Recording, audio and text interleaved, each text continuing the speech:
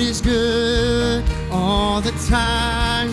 He put a song of praise in this heart of mine. God is good all the time.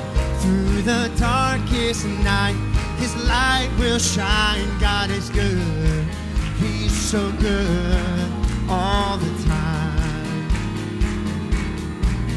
If you're walking through the valley are shadows all around, do not fear, for He will guide you.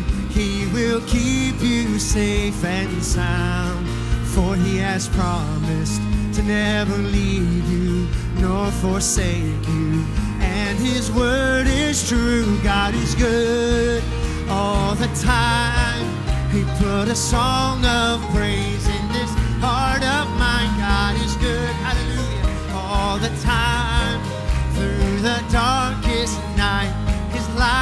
shine. God is good, He's so good all the time.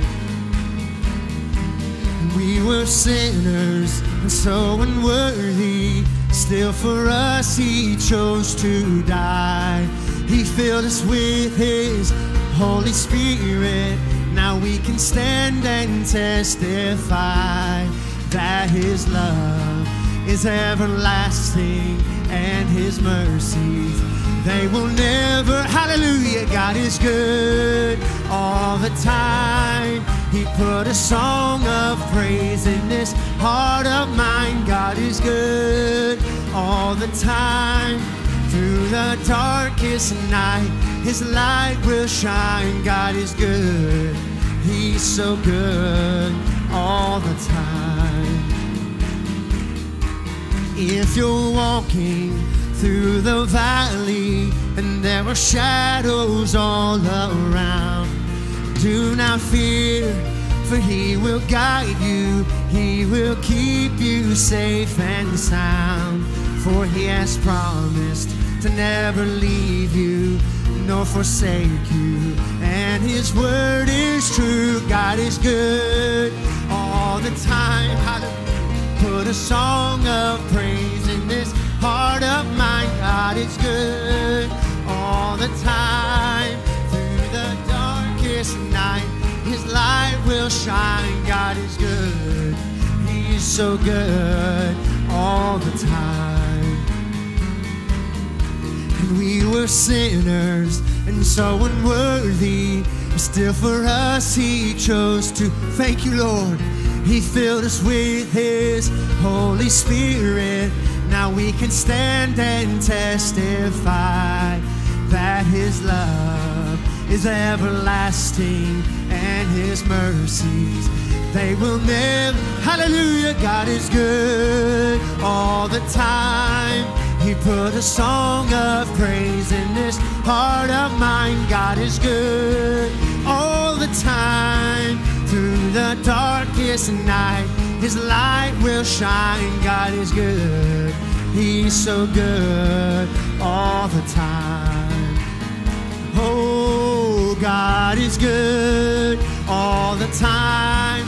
He put a song of praise in this heart of mine. God is good all the time. Through the darkest night, His light will shine. God is good. He's so good all the time. And though I may not understand all the plans you have for me, my life is in your hands. And through the eyes of faith, I can clearly see God is good all the time. Yes, you are. You put a song of praise in this heart of mine. God is good all the time. Through the darkest night, His light will shine. God is good. He's so good all the time. And though I may not understand all the plans you have for me, well, my life is in your hands. And through the eyes of faith, I can clearly see God is good. Yes, He is all the time. He put a song of praise in this heart of mine. God is good all the time. Through the darkest night, His light will shine. God is good. He's so good all the time. Yes, He's good. God is good all the time. He put a song of praise in this heart of mine. God is good all the time. Through the darkest night, His light will shine. God is good. He's so good all the time. Is He good tonight? Give Him a shout of praise. Lord, you are good. Hallelujah. Come on, lift a shout of praise to Him tonight. We lift a shout of praise, Lord. Be glorified in this place. Hallelujah. You are good and great. Hallelujah. Hallelujah. Hallelujah. Hallelujah. You are good. You are good. Hallelujah. Hallelujah. Hallelujah. Hallelujah. We give you all the glory and the honor and the praise, Lord. Be exalted in our praise, Lord. For you are good, you are good, you are good. And your mercy endures forever. Hallelujah. We worship you, Lord. Hallelujah. Hallelujah. Blessed be your name. Oh, how beautiful are you, Lord? Yes, you are. It's your words, glory, glory. It's your love. Yes, hallelujah. Oh, how glorious are you, Lord? It's your power. It was your cross, glory. Oh, that saved me, and you rescued me. Just a moment there, you set me free. One touch of your hand, I give you glory, glory. Give you glory.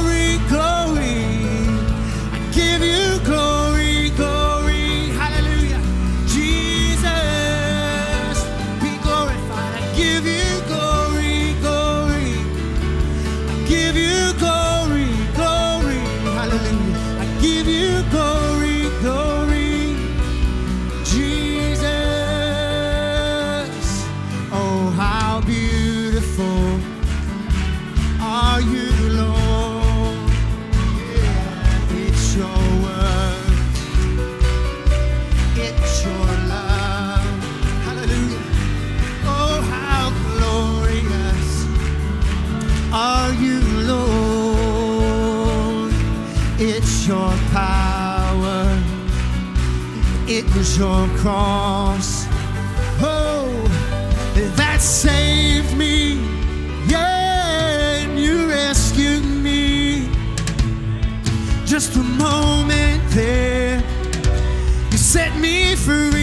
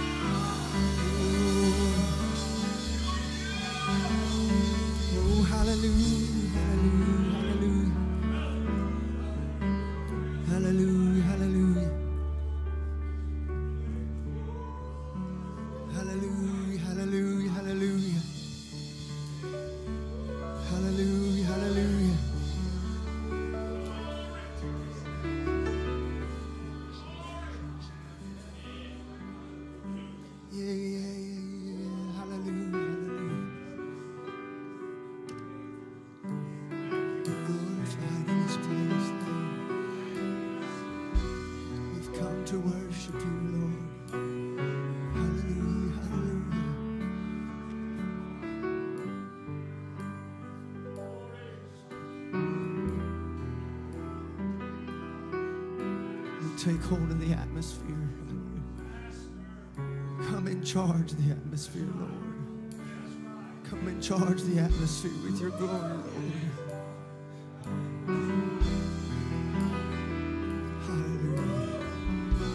Like a mighty rushing wind, Lord.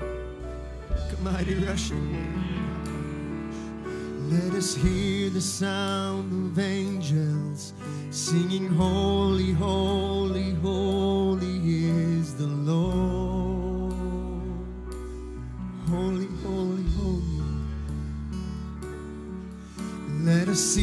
the saints and elders gathering in worship around your throne.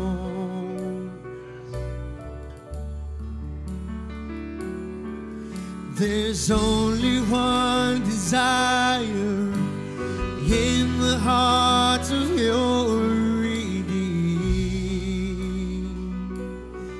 That's our desire step deeper in the place where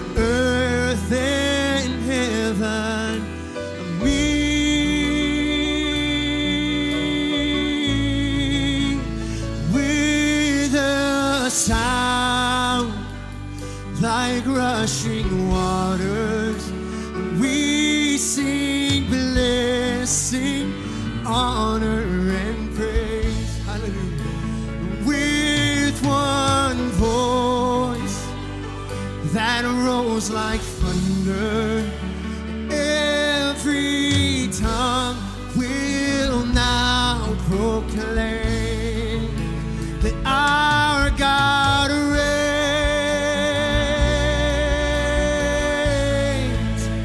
Our God reigns.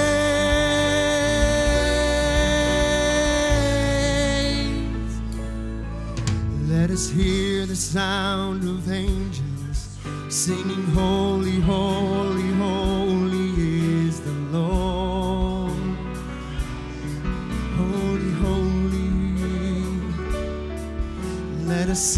the saints and elders gathering in worship around your throne.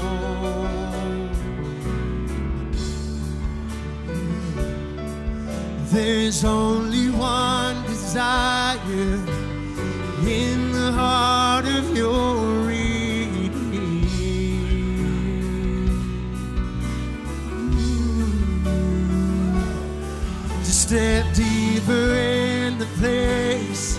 where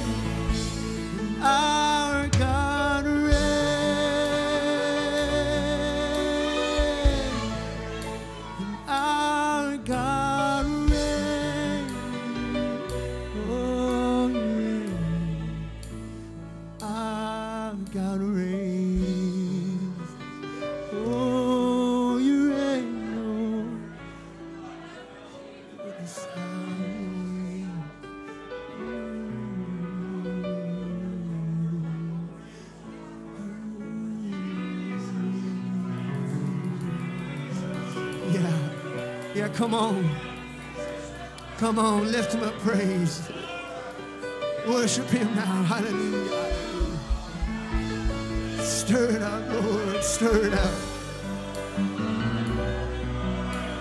Stir the waters, Lord. Stir the waters, Lord. Stir the waters.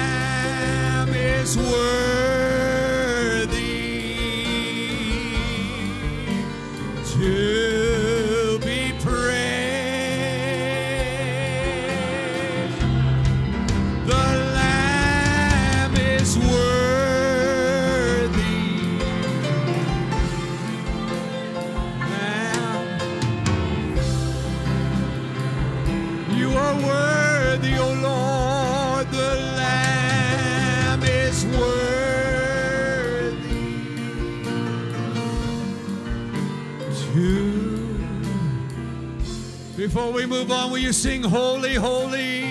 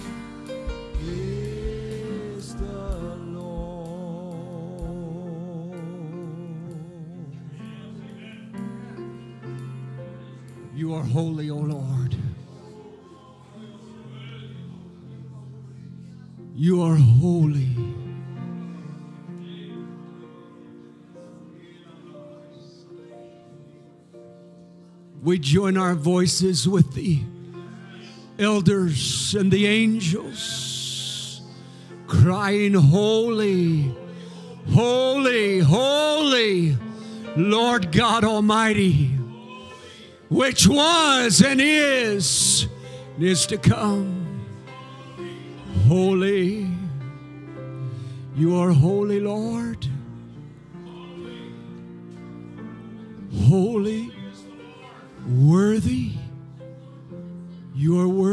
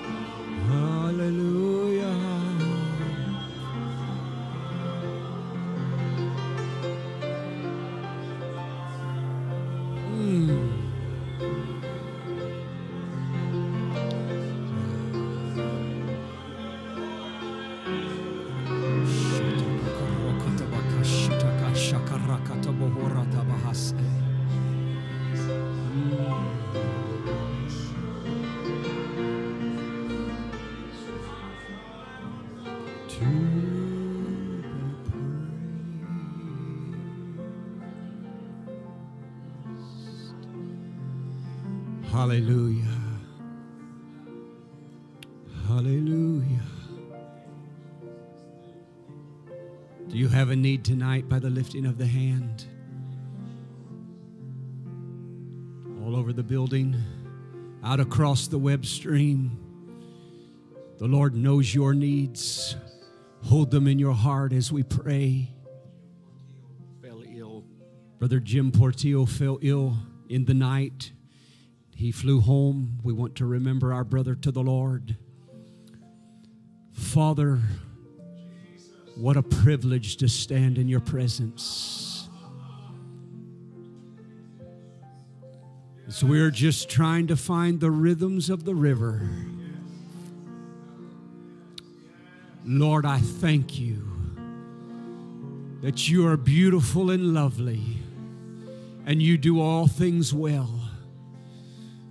Father, how thankful we are that we could gather together tonight with saints of like precious faith, that we could bring our praise, our adoration for you.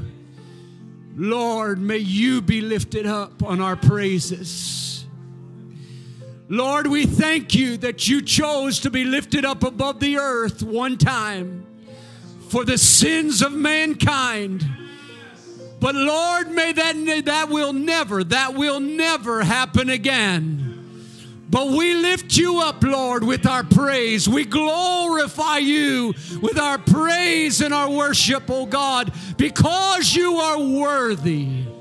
You are worthy to receive glory and honor and praise. Father, you see the needs all over the building tonight and out across the web stream. You see, God, the needs of the people. Each one of them, Lord, is important to you. Some physical, some, Lord, are dealing with emotional needs tonight.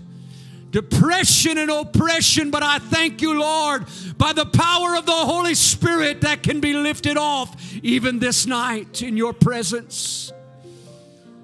Lord, I once again remember the Weems family to you, asking you to minister your love and strength to them, comfort them in this hour. Lord, we ask you to be with Brother Jim Portillo and ask God that you would touch him and minister to him in his physical body, in his spirit. God, every need, I thank you that you supply it. We give you glory and honor, Lord. Whatever you want to do in this service, Lord, we'll do our best to yield to you.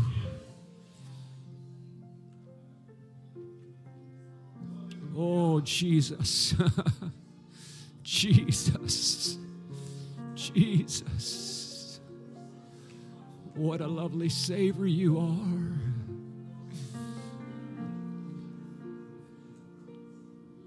I thank you for your manservant that you've chosen to minister the word tonight.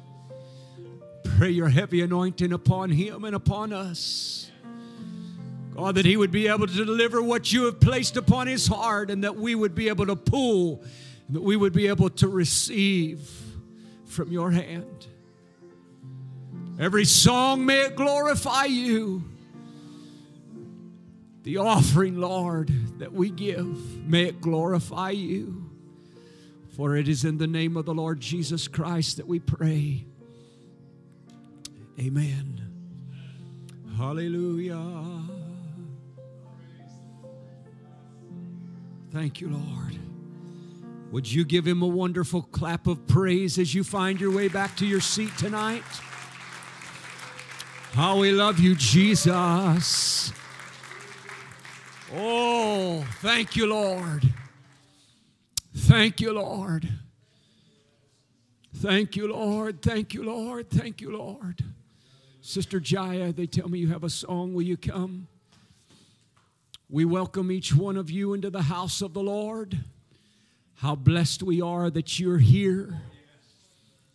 We're glad to be gathered together with you to see the Lord move among us and do great and mighty things. Brother Brent, Sister Trish, we're so glad to have you all from Tucson. The Lord bless you.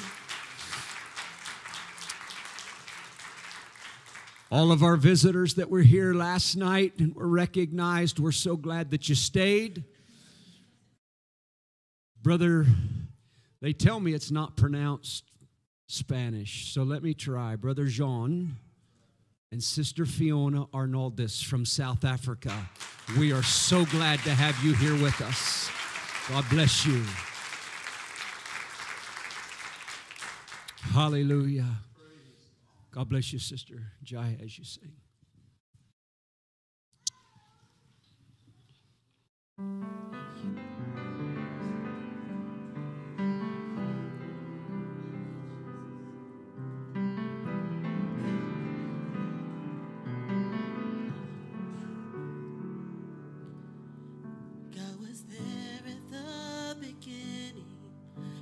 Spirit brooding like a dove, spoke the earth into existence, from creation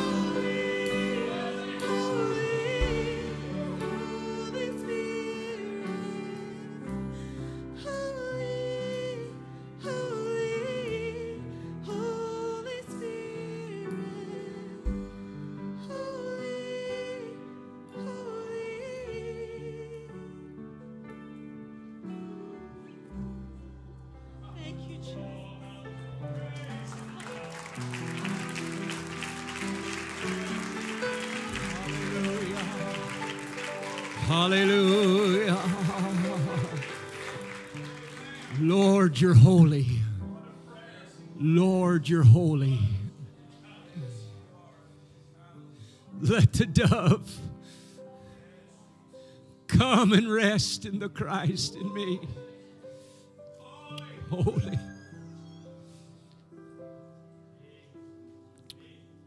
Oh, thank you, Lord.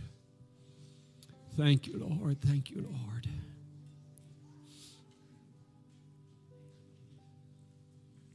Thank you, Lord Jesus.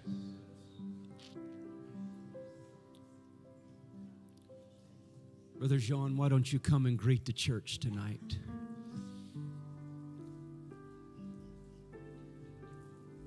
We're so glad that you and your wife would come this far to be a part of us. God bless you. Can we say amen? Praise God. I greet each and everyone in the wonderful name of Jesus Christ. What an honor and privilege to be here in the house of the Lord. I also bring special greetings from South Africa, from the bride that side to all of you here. It's so wonderful to be in the presence of the Lord. Is that right? You know, Brother Branham said there was nobody and nothing to worship him. He wanted to be God in the beginning. He desired to be God. But there was no hands, no voices, no feet to dance. And then he created us to make him God. Amen. And we're not ashamed to make him God tonight. Is that right? I'm not ashamed to shout and jump and dance to make him God. I can tell you, Christ is not unwelcome in this church. He's welcome here. We can feel him, the person of the Holy Ghost. Amen. I was just reading a, a scripture there in Greek. In Hebrew, it means praise. It means also to brag on God. Amen. To brag on the Lord. And I was just thinking, you know, if you don't praise God, you're not bragging on your God. But amen, if you know that He's a healer, a redeemer, a savior, I mean, you will praise Him. You will brag that He's a healer.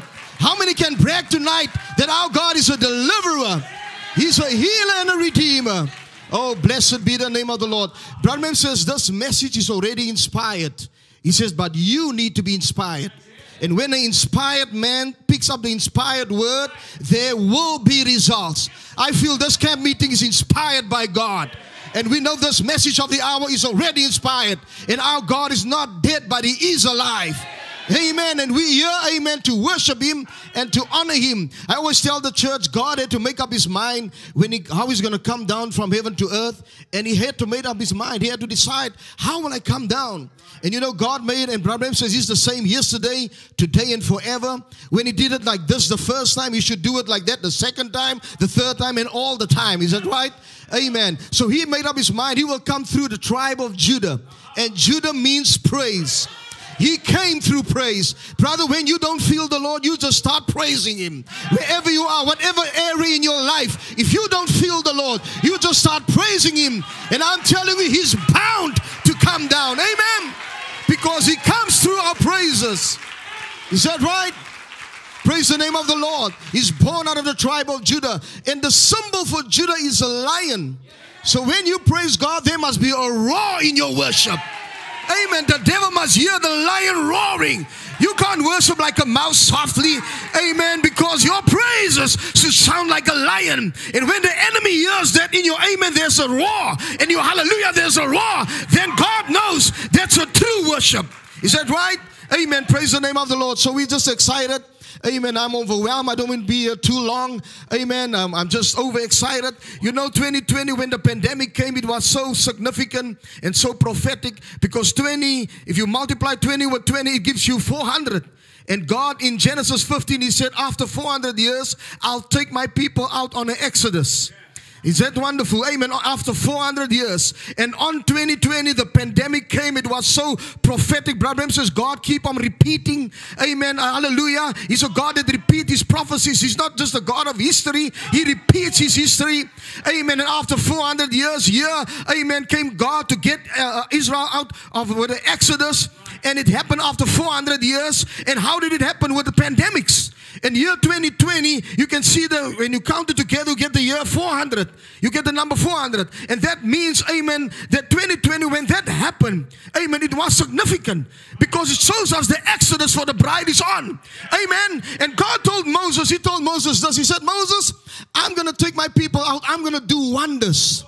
But when I studied that word wonders, I couldn't understand how God can say, I'll take my people out with wonders. But when the wonders came, it was actually pandemics. It was plague behind plague, plague after plague. But how can God says He's going to take them out with wonders? You see, to the Egyptians it was plagues, but to His people it was wonders. Can somebody shout and say Amen? Oh, brother, to the world the pandemic was chaos, but for us it was supernatural wonders. Because God came on the scene to show He's the same yesterday, today, and forever. And I'm so excited. I told the people, Amen, after 400 years, but the redeemed time was exactly 430 years. So the Exodus took place after 430 years. And Moses, he told Abraham for, after 400 years. But in the book of Exodus and Leviticus, you can read it was after 430 years. And what God did in the first Exodus, you can study all the Exodus. Bible says it's the same. What happened in the first Exodus will happen in the second Exodus, will happen in the third Exodus. God sent him a prophet in the first Exodus. In the second Exodus, Jesus was the prophet. And in our Exodus, God sent William Branham as our prophet. But I want to show you something there, just quickly, Pastor, if I can. 430 years. And it's amazing, after the book of Malachi, for 400 years there were no visions, no dreams, there was no prophecies. It was quiet. They call it the silent God for 400 years. Oh, but then the angel Gabriel came. Amen. With the prophecy that the Redeemer will be born. But Jesus only functioned after 30 years. So if you look into that, amen, you get the year 430 again after Malachi to the book of Matthew, 400 years of silence. But the angel said that the Messiah will be born.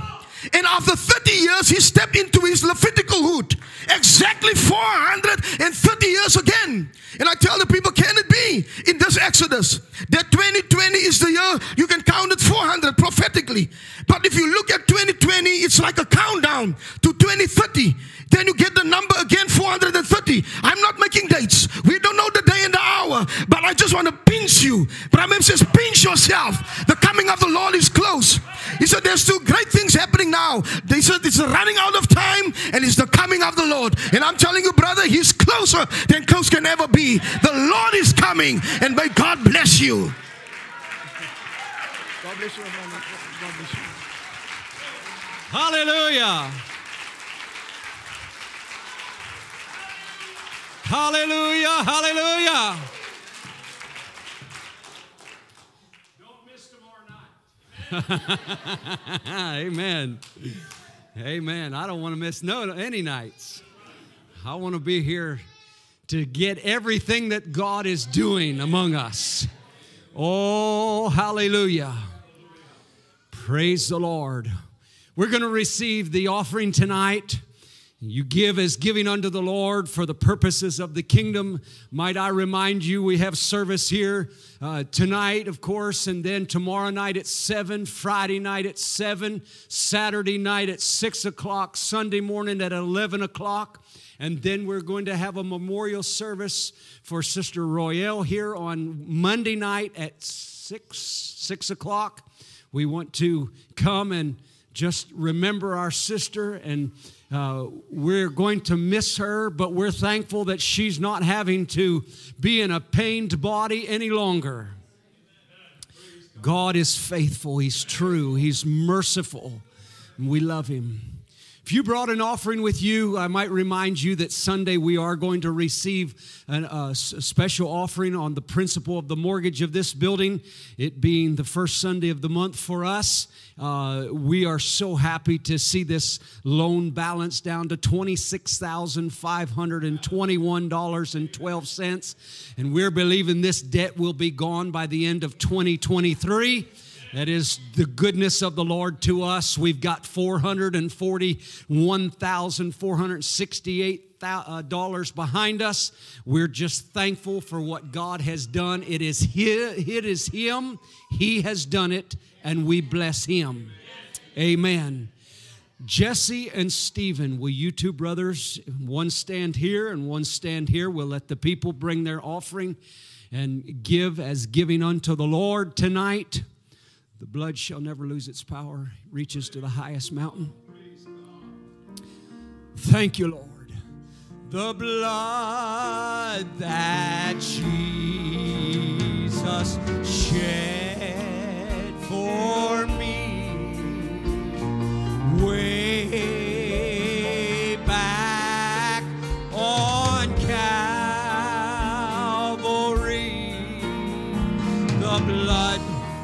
that gives me strength from day to day. It will never lose its power.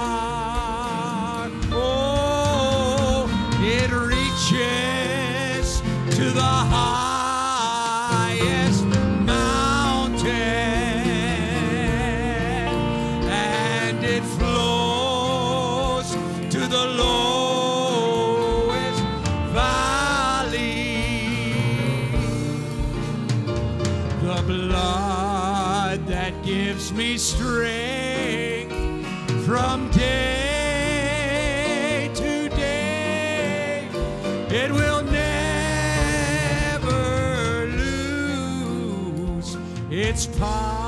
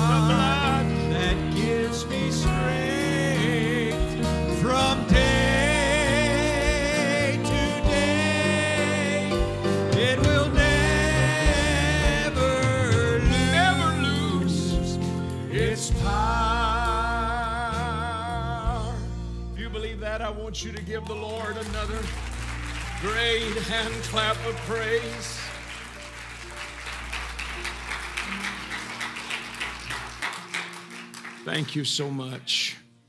I want you to turn in your Bibles this evening.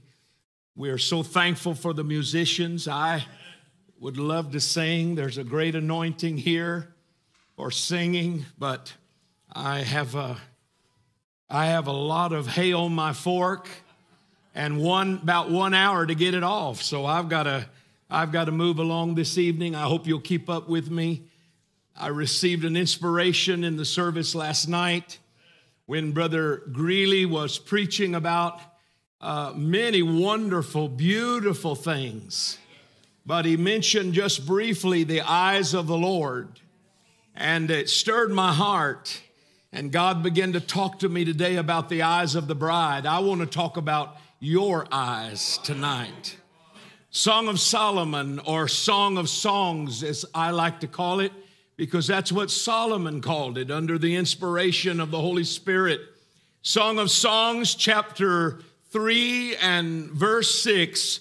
Who is this that cometh out of the wilderness like pillars of smoke, perfumed with myrrh and frankincense, with all powders of the merchant?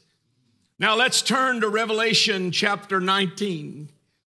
And we're going to read verse 7, 8, and 9. Let us be glad and rejoice and give honor to him, for the marriage of the Lamb is come, and his wife hath made herself ready. Something has transitioned the bride to wife. Something had to take place to move her from the realm of espousal engagement to being the wife. She hath made herself ready, and to her was granted. She didn't get it on her own, find it somewhere, pay for it. It was given to her. It was granted that she should be arrayed in fine linen, clean and white, for the fine linen is the righteousness of, of saints. And he saith unto me, Right, blessed are they which are called unto the marriage supper of the Lamb. And he saith unto me, These are the true sayings of God. Are you with me tonight? Then I want us to go to Song of Songs, chapter 8.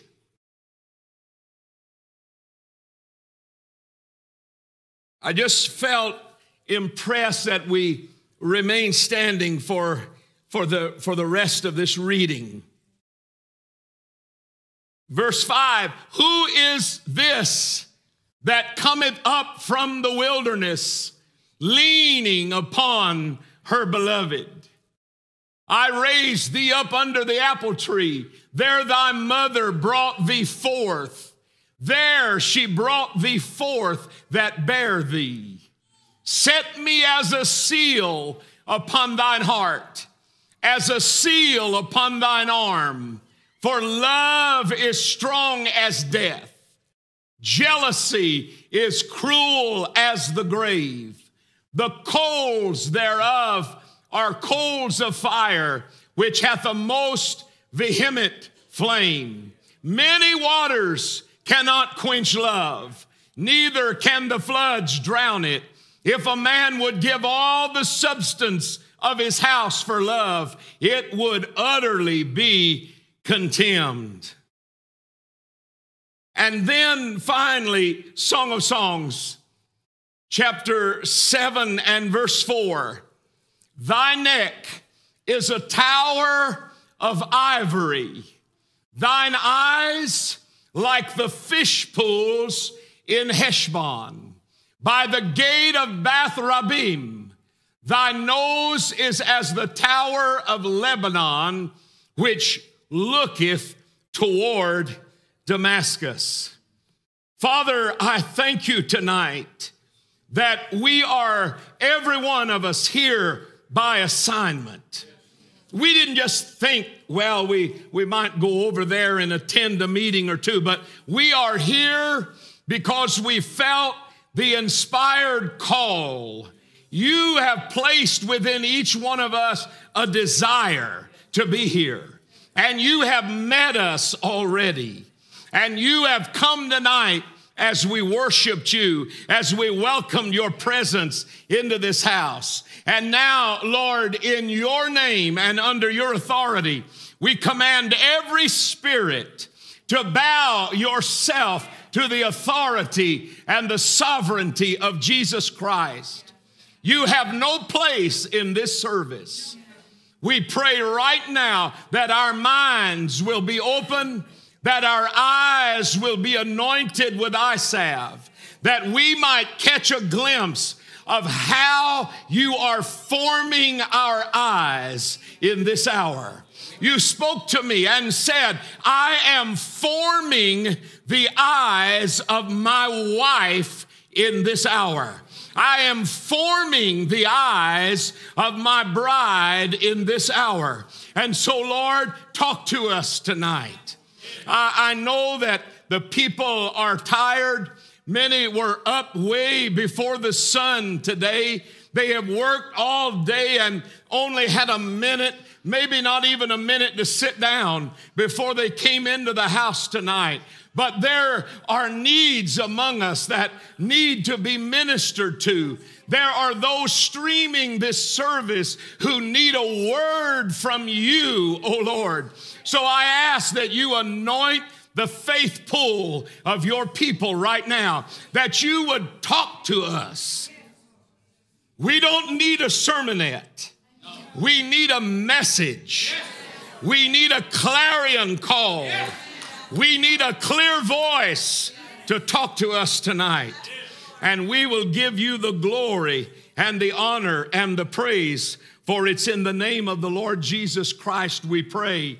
And the saint said, before you're seated, I want you to lift up a roar of praise to the Lord again. Just one more time.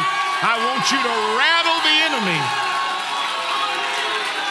Hallelujah. Hallelujah.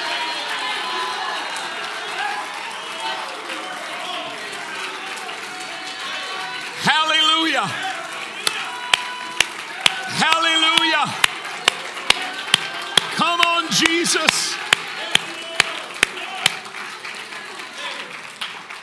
You may be seated. Most of us here have an understanding already that Jesus loved the church and gave himself for her. Amen. We also know in this house that there is a remnant found among that church that has been chosen, predestinated as his bride to not only be given eternal life, but chosen to overcome the spirit of this last age. Can you say amen? In the message, The Voice of the Sign, paragraph 23, Brother Branham said, Now the type here, there is a wonderful type that we sure don't want to miss. See, typed. God was bringing Israel, his people, out, a nation. I want you to look at this next phrase a nation out a nation out of a nation. A beautiful type of today that God is calling his bride out of a church. We are a church called out of a church. We are a bride that has been called out of a church. God is calling his bride out of a church, Christian bride, out of a Christian church a bride, church, out of a church, which is called in the Bible or it's referred to in the Bible. We know by the word of the Lord that she is not only espoused as a bride to him, but the scripture specifically describes her as a chaste virgin. Do you believe that? I want you to stay with me in the foundation. Second Corinthians 11 and 2. For I am jealous Paul says, I am jealous over you, not with a carnal jealousy, but with a godly jealousy. For it has become my responsibility, he's saying. For I have espoused you to not to a bishop, not to a pope, not to a top 10 in the message list, but I have espoused you to one husband that I may present you as a, you read it for me, a chaste virgin to Christ. A chaste virgin is one who is not defiled by fornication and uncleanness. This is how we're going to do it. I'm going to say it, and if you believe it, you're going to amen it. So we can move quick. You want to start over? A chaste virgin is one. Look, the only way I can get 13 pages in tonight is stay close to my notes. And the only way we can flow is I'll do my thing, you do your thing, if you believe it. Don't just blindly say amen. But if it strikes your heart, you respond. We're, we're going to be kind of liturgical. Has, has any of you been in a church where they had a liturgy? And, and you get up and, and the, uh, the, the priest or whoever, he would read a verse and then the people would have a stanza of response. Anybody, uh, anybody been in church? And then one more statement, and the people, that's how we're going to do it tonight. We're going to be very, very ecclesiastical in our support. I'm going to say it. If you believe it, you're going to respond. A chaste virgin is one who is not defiled by fornication and uncleanness. A chaste virgin is one who is espoused to a husband and greatly loved by him. A chaste virgin is one who is longing for the wedding day to arrive. A chaste virgin is one who prizes all expressions and tokens of love from the espoused. She does not despise or reject any of his love gifts. If he offers it, she wants it. If he hangs it over our head, we reach up by faith and take a hold of it. We don't want any of it to pass us by. We know that the Omega bride must be like the Alpha bride, but she comes with a double portion because she has seen her day. She has recognized the day that she's living in and the message for that day. A chaste virgin is one who delights to hear as often as possible from her espoused. Once a week is not enough for her. Twice a week is not enough for her. She constantly desires to hear him whisper his love to her day and night. Is that all right? In the message, Scriptural Signs of the Time, paragraph 42, He said, But remember, the bride will be a called out, separated, and different, filled, Holy Ghost born, washed in the blood of the Lamb. She'll abstain from everything that's filthy around her husband.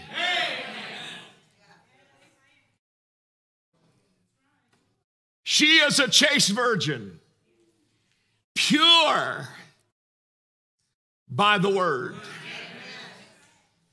You see, what's so powerful about this word is it restores virginity, it restores chastity to someone who has already taken a seed from some denominational system out there somebody who's been raped by the church. I'm going to talk a little plain now.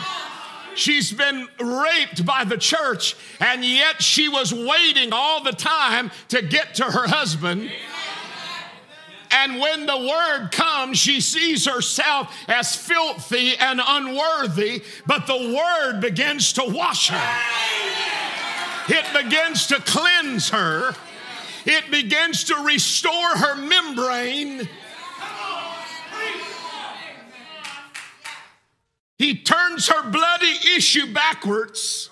He restores her membrane. She stands before God in this hour, no matter how many spiritual lovers she's had. She stands virgin and chaste and pure because He sent a pure word. You can never be purified by a mixed word. It can't be man and God. It can't be the message and man. It has to be the pure revelation of Jesus Christ. That's the only thing that can restore us back. Are you with me? Are you with me?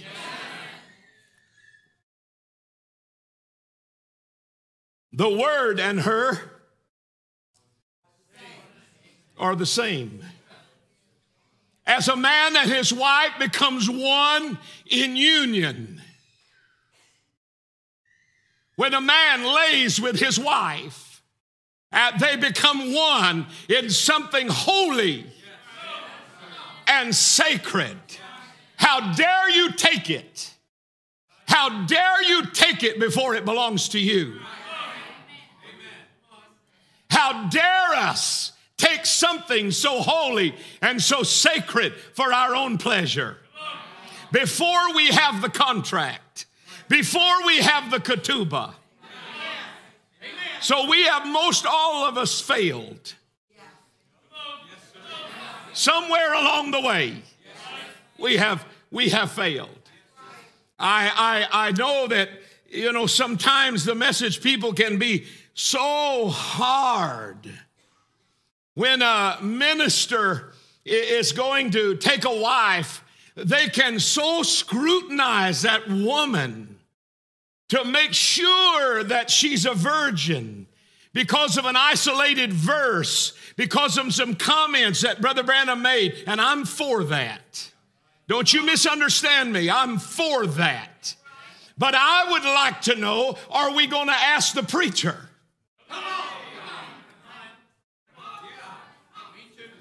Are we going to ask the preacher, Are you a virgin? How many lovers have you had before you came to Christ?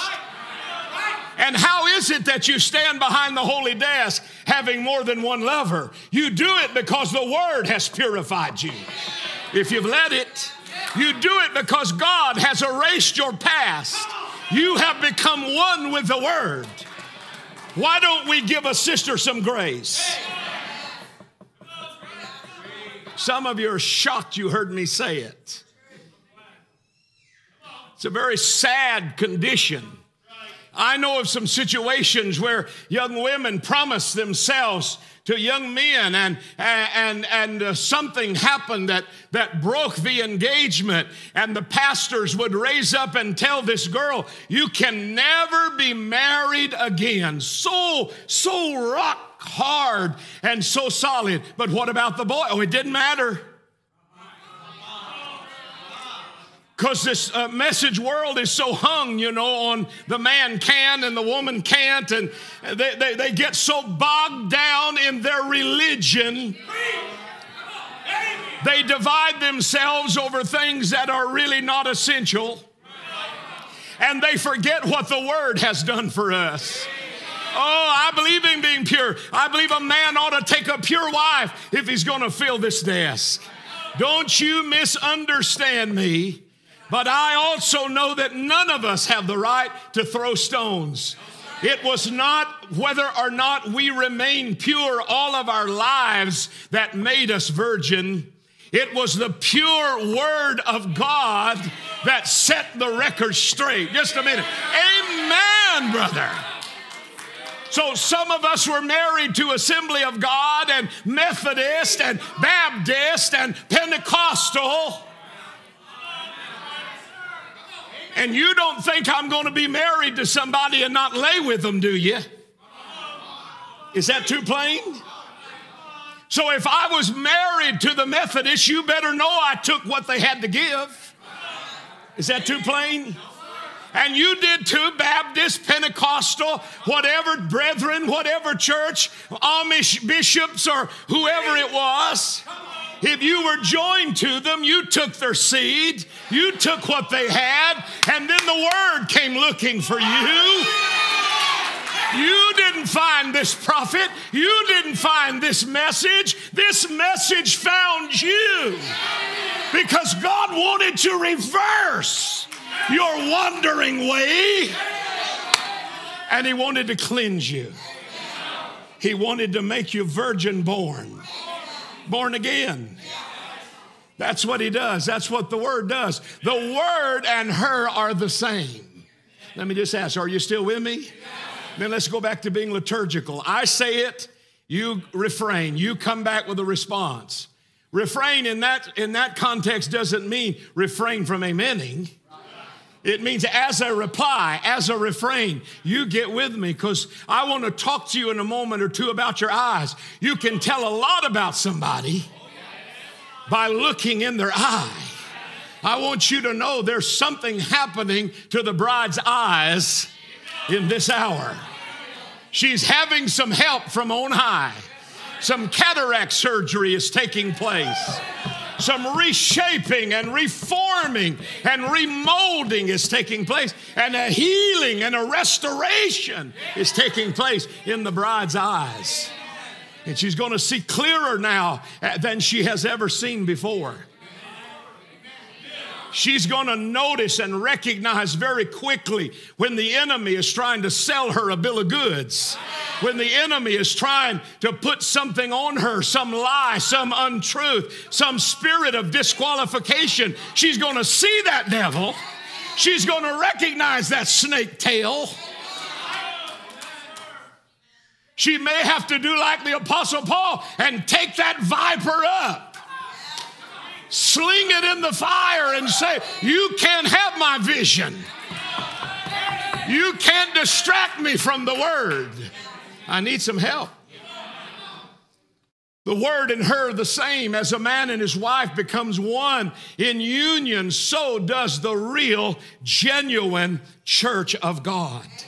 When he becomes in Christ, the Bible is punctuated with a every promise don't make any difference what the denomination says. The soul that's in the believer punctuates it. Isn't that what I was asking you to do? Because it is the word in him. The word has to punctuate the word. Didn't brother tell us last night we are a word sent from God? Then you can't hear the living word of God and not respond in some way. First and foremost, your faith has to reach up and take a hold of that word. But if you can be so bold as to say a so be it and amen, you make that word personal in your life. It's not the noise I crave, it's a faith refrain. It's a response that says, That's the truth. I'm sticking to it. I don't care what anybody else says, I'm staying with that word. The bride church is much loved by the Lord Jesus Christ. As scripture says, he rejoices over his people. When you're worshiping him and you're rejoicing over his goodness and faithfulness to you, if you could see him, if you could catch a vision, a glimpse, I want you to know He is joying over you. He is delighting over you. He is hovering over you, like the song told us tonight. What a great privilege and responsibility is ours to be a part of the chosen bride church. The seed is not heir with the shuck. Brother Branham said in paragraph 99, I'm almost done with the quoting, but I, uh, but uh, not because I don't think it's important. I just wanted to lay it as a foundation. He said, "But when you come to say, I and my Father are one, and these other things." That's when the shuck starts pulling away from the seed. You remember? You know, as long as the fish sandwiches were being served, he didn't have a problem pulling in a crowd. As long as Brother Branham was seeing visions and discerning everybody's needs, he didn't have a problem filling up the largest auditoriums in the world. But then the word began to come a little straighter, a little clearer. Hello? Jesus began to talk to his disciples. He began to tell them, You're going to have to eat my, my body. You're going to have to eat my flesh and drink my blood. And it so stirred some of them that they began to pull away. That shuck will pull away from the seed every time. It's just a carrier, it's just a protector. It's there to protect the seed, to bring it to the hour of its maturity. You know that to be right. But he said the real, genuine bride church will bring forth. How about you reading it? The entire in its and its for he's the same yesterday, today, and forever. Aren't you glad? You see, this bride church has a responsibility. The bride church is intent on being kept pure from idolatry. I believe you can do better. I'm giving my all, I'm waiting on you to give yours. The bride church is intent on being kept pure from idolatry. There you go, that's sounding better. That means she's not into pastor worship. She's not into church worship. She's not into Brother Branham worship. She lets him be a man. Do you let your pastor be a man? If you don't, you'll never have a leader. The man that God chooses to lead you wherever you worship is going to be a broken vessel. You don't hold him to perfection and infallibility. You let him grow. Some of you have been with me since I was a 21 years old. I'm 55 now. We've grown together. You've given me grace, and I have given you grace. You have not worshiped me, and if that spirit tried to raise its head here, God knows how. He always knew how to deal with that. If you get to leaning too heavy on your preacher, God knows how to deal with that a church like some that I love and some that I know of that go all these years and can't find a replacement for their pastor. Something is wrong. You want a carbon copy, and God doesn't have carbon copies. You've got to understand that a mighty man may lead you through a season, and another mighty man might have to come and take his place to lead you through a season. We're talking about pastors now. We're not talking about word prophets. I caught your thought. I'm not making an eighth messenger out of anybody, but I'm telling you, you don't worship your pastor. You don't worship the vision of the church.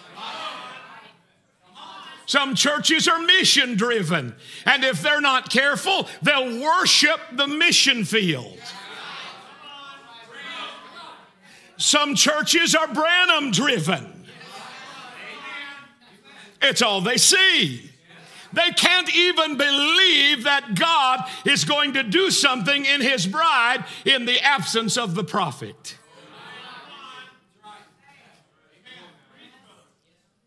So they're waiting to see how it's going to be.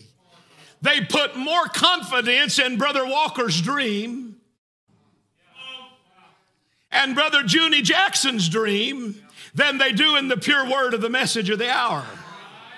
They take these dreams where it's spoken, I'll ride this trail again, and they're hold because Brother Branham's telling the dream. They're holding that to some level of infallibility and in their own, just like Abraham had an Ishmael. Ishmael was a product of Hagar's womb and Abram's loins. This right here. Now I know he gave her a natural seed, but it was an idea the very thing that got us in trouble in the first place was an idea that was full of discrepancy. Anybody with me? And so God had to deal with that. He had to deal. You know, it's a good idea, but just because it's a good idea doesn't mean it's a God idea.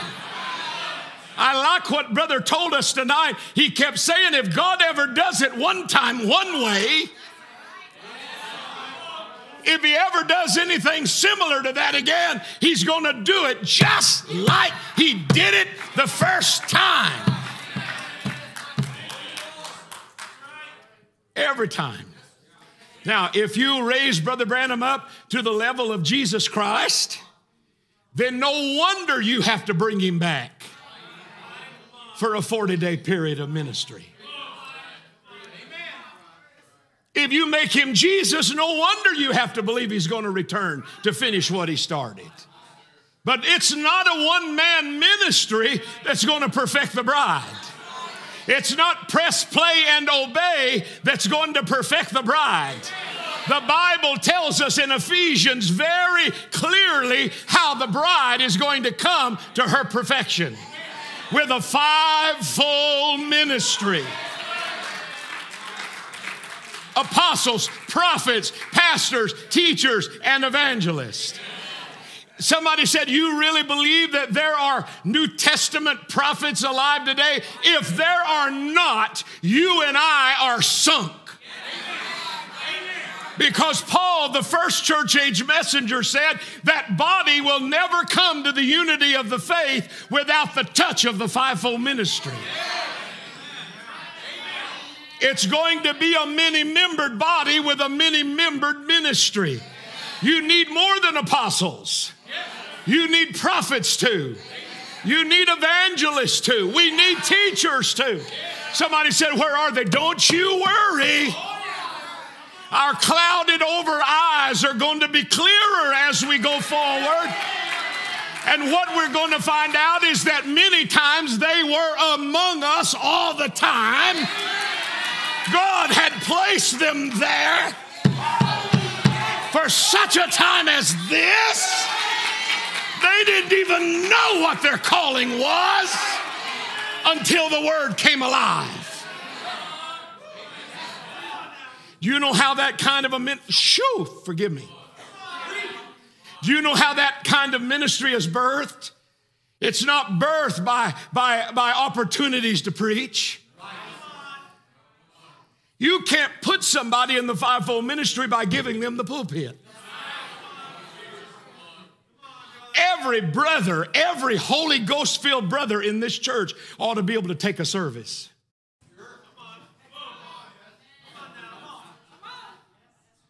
If you're the husband of one wife and you pass the other qualifications that the Bible tells us concerning the elders, Every, every brother, every Holy Ghost filled brother. I ought not to have to worry myself to death. I'm, this is fixing to sound pastoral. I'm an evangelist tonight. I'm a, I'm, a, I'm a guest speaker at this here camp meeting. And I'm about to say something kind of pastoral. But I want you to hear me, and I want you to hear me well. There's so many that feel that call, but I want you to know it takes more than that call. I want to tell you, I want to show you how, how ministry is born. It's not born by practice, although we all need it. We need it. Young ministers, especially, they need exposure and they need opportunity. But that ministry, that, that calling, especially to the ascension gifts, and what are they again? Apostles, prophets, pastors, teachers, evangelists. The Bible said that he ascended, he gave gifts unto men. So we call that the ascension gifts. He left something, he ordained something while he was leaving. Apostles, prophets, pastors, teachers, and evangelists. Now, you can't train somebody into that. Brother Branham said they're born there, but they may not know it. You may have been born to be a pastor, but you may not know it. Are you with me? You may have been born with a prophetic gift in your life to, to serve the body as a New Testament prophet, but you may not know that. So, how do you get that kind of a ministry birthed? You do it in the prayer chapel. You do it in the altar. You do it on the floor here. We call it carpet time. It's when you get down and bury your nose in the rug. That's when we're going to know you're serious about the call of God on your life. Amen. That's where my ministry was birthed at the foot of my bed as a boy, my ministry, whatever little bit God has given to me, it wasn't birthed by opportunity. It was birthed by wailing. It was birthed by groaning. It was birthed by wrestling. By saying, I'm not turning you loose until you set in order what you have sown in my life. Come on now. And that little bride, she's about to get some clarity in her vision. You're going to see young men, you're going to see young men begin to get serious about the word. They're not just going to look for an opportunity to speak. I said, every Holy Ghost filled brother. I ought not, as a pastor, I ought not to have to worry. I ought not to have to always clear my schedule with Brother Greeley and him clear his schedule with me to make sure that one of us is here. Any Holy Ghost filled brother in this church ought to have enough of the word in you that if you're called on, you could take a service. Well, what if I didn't preach like you? You better not. You preach like you. You speak like you. There's grace in this house for those who want to start to do something for the Lord. Everybody doesn't have a grandmother that'll just give you the pulpit. You need an opportunity, all right. Let me tell you what God does. He opens doors for those that He puts His trust in. He'll open doors. We need a fivefold ministry. It's not all hanging in the infallibility of one man. Now, I know Brother Branham was not a New Testament prophet. I know that he was more on the order of a word prophet. I know that he was a, a voice, he was a, a spokesman, he was a messenger for the seventh angel. Amen. Only one of those in a generation, only one of those to a church age. Are you with me? May not always fit the chart. You, you know, a, a man's ministry might go a little bit beyond. It might, it might go beyond his death. So people get a little worked up when they start checking the numbers and the messengers that were assigned as the seven church age messengers, and they find out that, that one didn't even live in his church age. That ought not to be so, so horrible for you. That ought not to be such. Let me tell you something, especially in an hour like we live today. Where, where, you don't have to be in a, a live ministry there to hear the Word of God. You can hear the Word of God anytime you want to. But if you want to come to the perfection and unity of the faith, You're going to need apostles, prophets, pastors, teachers, and evangelists to do it. Am I making that plain enough? Now, if you're going to make Brother Branham infallible and you're going to say things like he never made a mistake when he says over and over and over again he did, and if you're going to let him misquote a scripture or add two scriptures together, and you're going to have to do the same thing because he did, because you don't want to bear some kind of false witness on him and make him look like anything less. So you'll get up, these preachers will get up and they'll misquote the verse because he did. And if you question them, they'll say something like, Well, that was God's vindicated voice. So if he said the verse wrong, then it must have should have been that way in the first place. No wonder they have to say there was no, no perfect man like him, no perfect messenger like him. They have to disqualify Paul.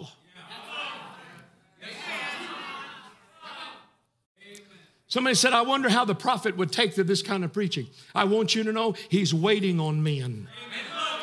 He's waiting on this hour for men with a backbone to say, You have rallied and run yourself crazy around a signpost.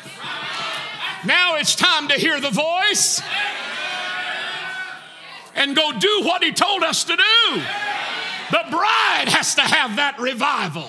The bride has to move in the ministry that God has given to her. John the Baptist had to decrease.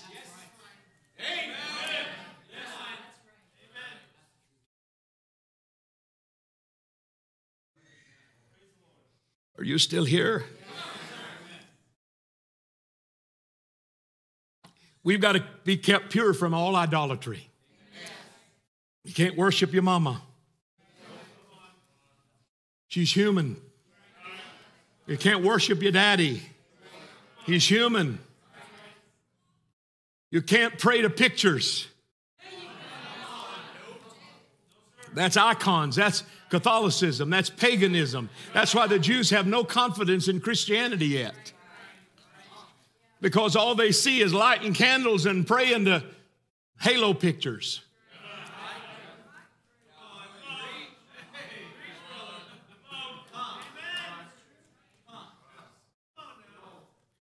They'll say things like, they'll say things like, well, you know, God loved that man so much that he had his picture made with him. I think that's precious to say.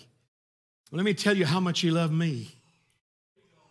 He loved me so much that he came down to live in my body. You don't get any higher honor than that. He loved you so much that he chose to come into you and purify you by his word. So if you don't ever have a halo over your head, if the pillar of fire don't ever physically hang over your head, the prophet said you're more valuable to God than all the angels. You carry as his bride more authority in the earth. Because you've got the word in you. And if you're still, if you still got some of you in there, try to get that squeezed out. I'm not saying you're perfect, but I'm telling you the, the perfect one is in you. The perfect one is in me. We can't just point people back. We've got to let them understand there's something to see out there. I'm tired of this pest house. So we've got to put away idolatry, no more pastor worship. I hope I'm getting that in there enough. The bride church is intent on making sure that there is not an inordinate love of the world found in her. Because if you love the world, the things of the world, the things of God, they have no place to lodge in you. Come on now. I told you on Sunday we're going to have to be inconvenienced a little bit for that last move of God. You may have to miss some of your Netflix series. You may have to miss something from time to time. You may have to lay something aside. You may have to get up a little earlier so you can get to church on time and you can get a seat. I know some of you really like your seat. You may lose your seat. There's a way to remedy that. Just get here early enough to claim it. Then put your little self in it and stay there. Amen. Because what I saw last night when that spirit of prophecy was stirring in here, what I saw was God saying, Bone gonna find its bone. God's calling a tribe together. He's calling a tribe together. May He do it everywhere. Somebody said, you you you talk like this place is special. What kind of a pastor doesn't feel like that God has placed him in a special place? You know, special can mean a lot of things. No offense, but it can mean you ride on a short bus. No, no offense. Well, ain't he special? That's a nice way to say he's ugly, but I know you love him.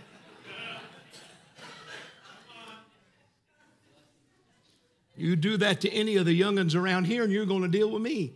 Because I have found out that when some when when people are when folk are bride, God gives them beautiful bride children. We have some of the most beautiful children and young people in this church anywhere in the world. Somebody said, Well, you're probably just a little bit prejudiced. I am not. I know when somebody's got a pretty look about them. The touch of God beautifies. He beautifies the meek with salvation, doesn't he? Hello. So we don't want to be found as the bride church with the love of the world in us. The bride church is concerned with only pure worship directed toward her bridegroom. She's not watching to see what everybody else is doing. She doesn't turn around to look to see who's watching her. We get a little of that sometime. Don't you do that. Don't you do that. I tell you, when you get into that pure worship, you don't care if your if your Dunlap is jiggling. You know what that is? That's that part of you that's Dunlapped over your belt. If you wear your pants big enough like I do mine, you won't have that. You pull them up like they ought to be pulled up. You won't look like these men with their belly hanging down there and their breeches down there. Buy you a bigger pair.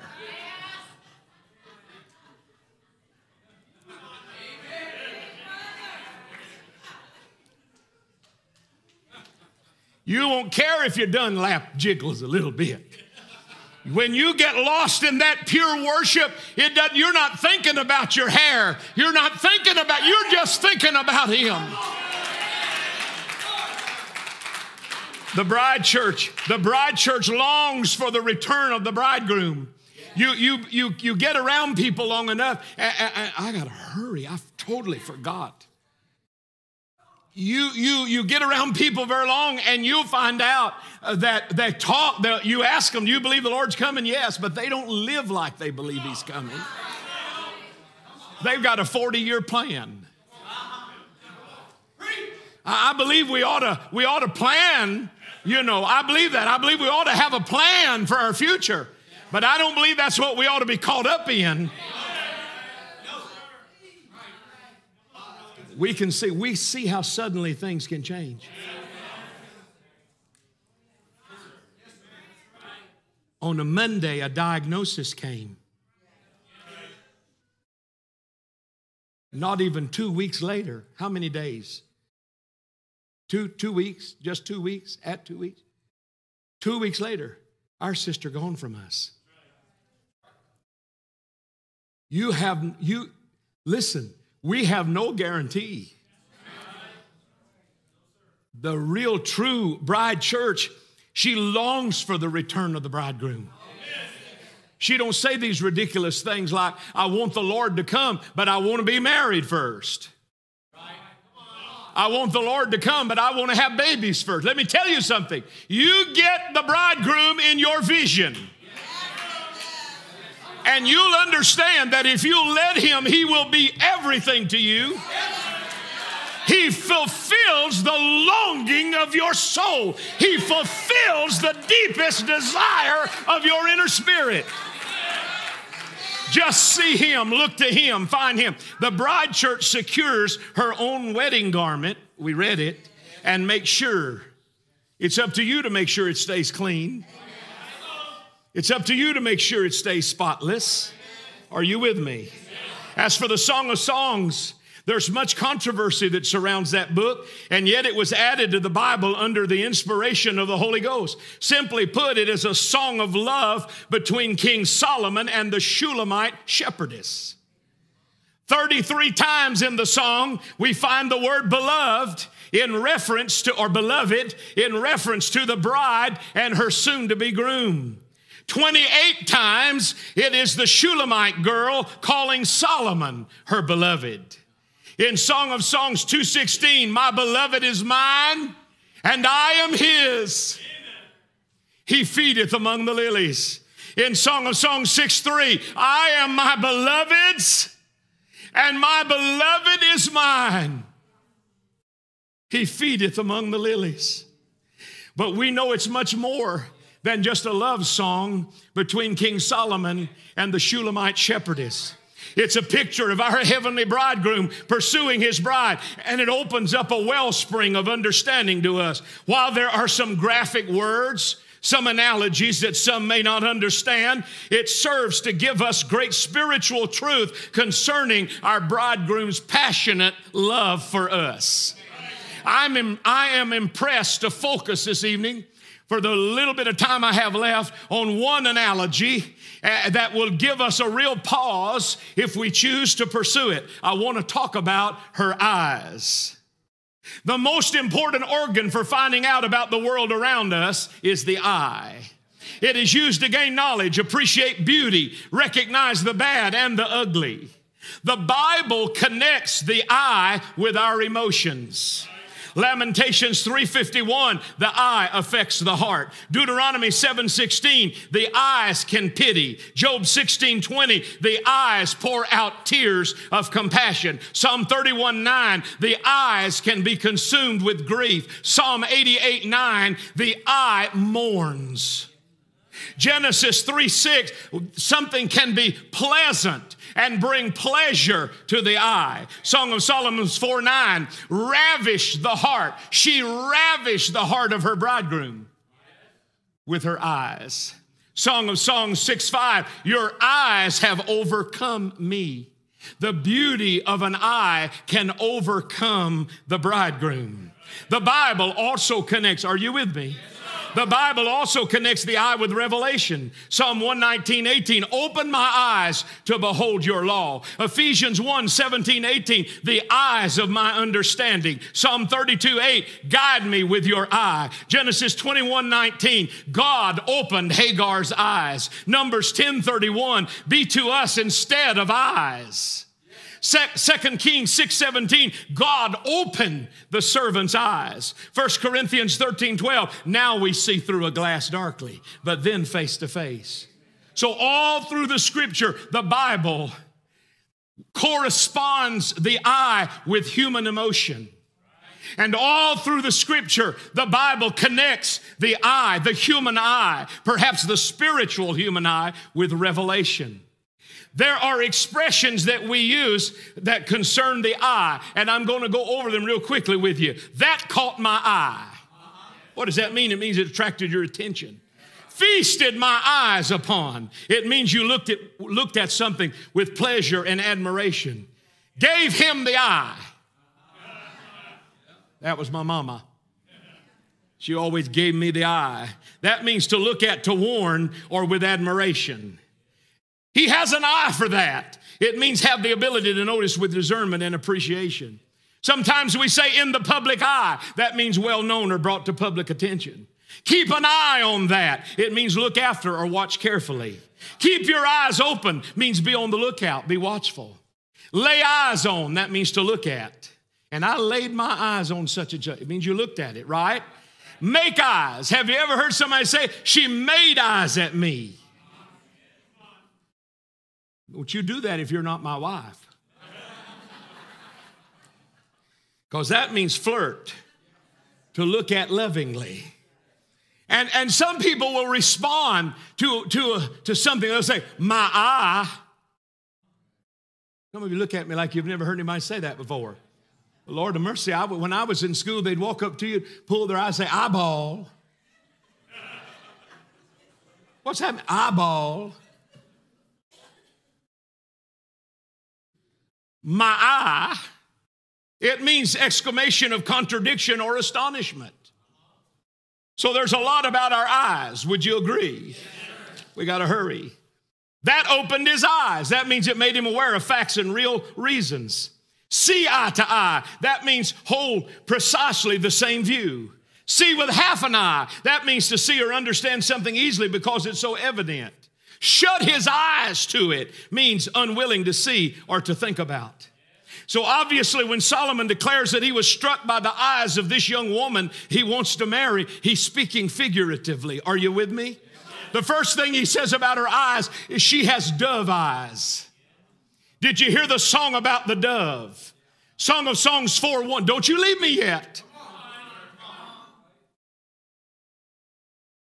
I'm not running a part two. I'm going to finish this tonight. Song of Songs 4 1. Behold, thou art fair, my love. Behold, thou art fair. Thou hast dove's eyes within thy locks.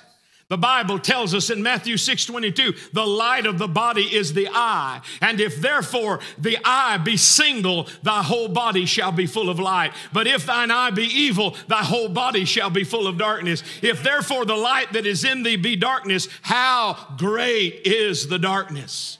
Did you know that when a dove fixes its gaze upon its mate, it is never distracted by any activity around it. I said when a dove fixes his or her eye on its mate, it doesn't matter what's happening around them. They lock eyes in such a profound way that sometimes people refer to that, a dove, as being a lovebird. Our having this dove's eye as the bride of Christ indicates that we're becoming increasingly, I got to slow down. It means that we are becoming increasingly aware of the Lord's person and His presence. And that we possess a spiritual awareness that will lift us above the pools of the earthly for a few moments last night as the service come to an end the spirit of god was still drawing in this place I knew he was drawing, and I refused to let anybody take it into, into warfare or into any kind of violent intercession. That is not where we were. There's a time to war in the spirit, there's a time to, to, uh, to intercede with, with aggression in the spirit. And then there's a time to recognize that the dove is over, he's just hovering. Somebody said, Well, I don't know what to do in times like that. You don't have to do anything. You don't have to do anything. We make a great mistake. We make, I want to teach you something. We make a great mistake when we think we've got to fill in the void. There's never a void when the dove is hovering over our head. We could sit and look each other in silence. You know that's what lovebirds do. We could just sit and look at one another here in silence as long as the dove is cooing over us. We don't have to scream. We don't have to be loud. We don't have to pound the desk. We don't have to beat a drum. We don't have to wave a flag. We don't have to shake a tambourine.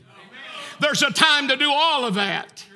You know, as a pastor here, you know that I believe that the people should have liberty to worship God. Every time the enemy raises his ugly head to try to dictate in this house what worship will be like, God has allowed us to beat him back. You're not going to tell us we can't run or jump or dance or shout or speak in tongues or twirl or wave a flag or throw a handkerchief. Every time the enemy has come through the years and tried to say you'll be more accepted, hide the worshipers in the back so no streamer sees them. If I was ashamed of the worship here, we would have done something about it a long time ago. I just wanted a place. When my grandmother was leaving this world and God gave her the vision and took her out the spokes of a wheel out into the tragedies of the world, she started in the hub. The hub was the anointing. The Spirit of God carried her out the various spokes of the wheel. She saw disease and famine. She saw world disaster. She saw homosexuality and perversion. She saw so many things just when she would feel like I can't, I can't survive under the weight of how ugly it looks. The Spirit of God would pull her back down the spoke of the wheel and, and anchor Shah. And anchor her in the hub, in the anointing. She told me the vision the day, the day she died, the morning, the morning that she died, either the morning she died or the morning before she died. It was one of the last spiritual things that she said to me. She said, Steve, you won't believe. You won't believe. It don't matter how black it gets out there. It don't matter how filthy it looks.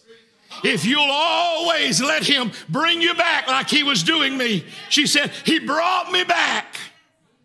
She said it was like I was sliding back to the hub. And the anointing just draped me and embraced me and wrapped its arms around me. And all of a sudden, are you with me? And all of a sudden, everything was all right uh, uh, uh, uh, Brother Josh Yantis, come in and make it a little warmer. Uh, those people are very, very cold. I'm very hot, but it doesn't matter. I, I, am sweaty, but I, I don't want nobody to, to, get, to catch a cold because you can't stay out. you, you can't have a sore throat and lay out. This is, you, you don't want to miss this. Somebody didn't hear the message Sunday. He said, I'm going to give you the moed. I'm going to give you a divine appointment. I'm going to do something for you this week. He didn't tell, he didn't tell us what preacher he was going to use because he'll use us all if we yield to him. He didn't tell us what service was going to be the best because they'll all be the best if we get everything out of them we can get. I'm going to do it, brother. I'm going to do it, sister. I'm going to get everything I can get. You've got to know when the Spirit is calling and wooing, and you've got to know when He releases you. To stay one more, to linger one moment longer than the Spirit is wooing you is a waste of your good energy. I lost friends one time at a camp meeting down the hill there under that tabernacle. Because out long after the service was over, there was a bunch of people from, some of them from New Brunswick and from other places. A big majority of them now dead. A big majority of them gone, and some left at very young ages. But there were some of them who had come and they began to try to, to, to extend what God was. It wasn't that He that He didn't want to help us. It's that He has a time and a season for everything.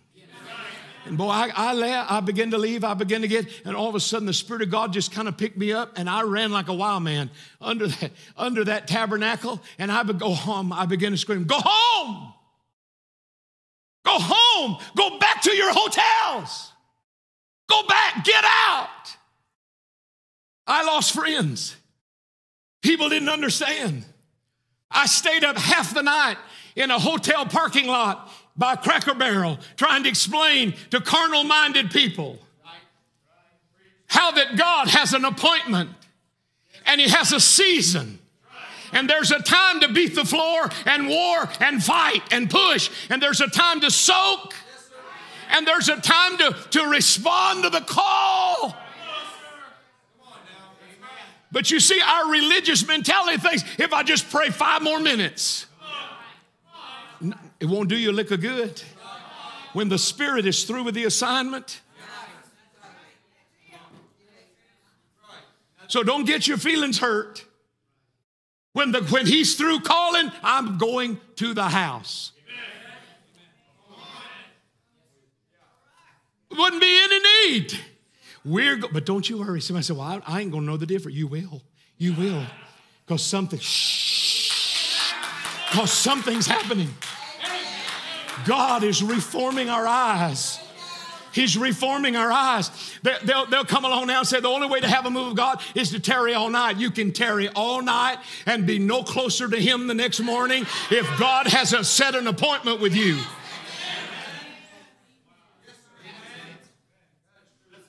You got to understand the times and seasons of the Lord. I believe in fasting. I believe fasting is a key for a lot of people in a lot of situations. I believe fasting is one of the only things sometimes that can bust something open. But I don't believe in fasting because you got an idea. I believe, listen, if you're going to really fast, you need to know God is wooing you. He's calling you into time. Somebody said, Why would you say something like that? Because we were once on a 21 day Daniel fast here, and some just joined in because others were joining in. And I'm telling you, it turned loose mental sickness, mental illness, it turned loose all kinds of things in the house. Because it's just like Abraham and, and, and Hagar. God gave him a son, but it was a product of Hagar's womb and his loins.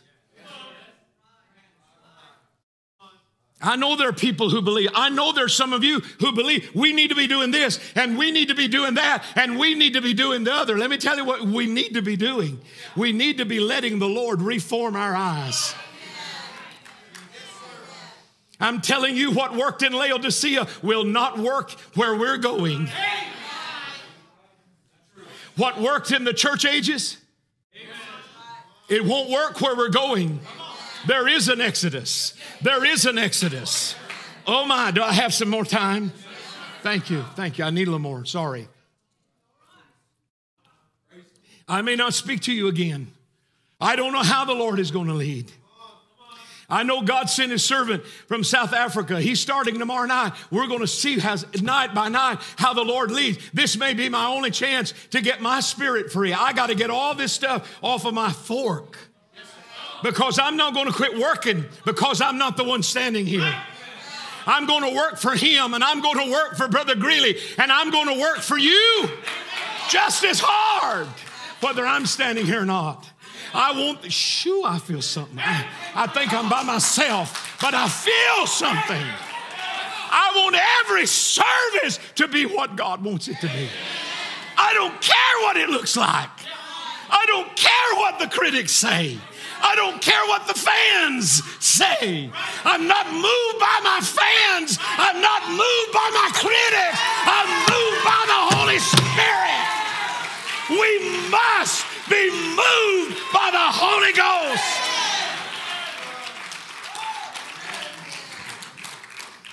You'll never get to where God has called you to get if you get stuck in thinking that you've got to run your house, your church, like everybody else's church.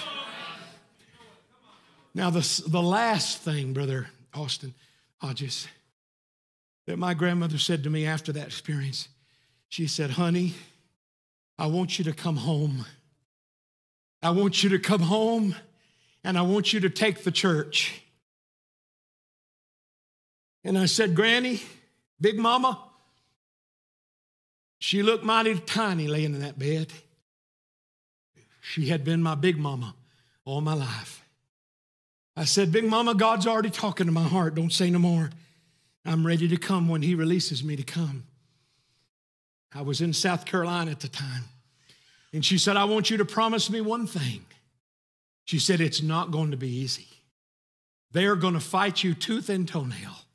And you will be tempted to leave, to throw in the towel and leave, because some of them that has been faithful with me will not be faithful with you. She said, Some of them are so mad they could spit a 10 penny nail because I recognized that I wasn't called. And they'll blame you. Remember my grandmother, all those years of ministry. And she heard, I said, But Big Mama, if he is that Elijah, if he, if that spirit and power of Elijah is on him, we'll have to do what he said to be right, won't we? Yes, ma'am. I said, but Big Mama, the Bible said that a woman is not supposed to, to handle the word of God and usurp authority over a man in that way. And she said, Oh, I never thought of it quite like that. I'll never do it again. You saw it. You've read the testimony. And so I said, I will come in God's perfect timing. She said, I want you to promise me one thing. I want you to have a church. It don't have to look anything like the church that I started because I was doing God a service. You're going to be in His will. I want you to build a church where uh, somebody can call the name of Brother Branham and never be afraid that somebody's going to get their little feelings hurt.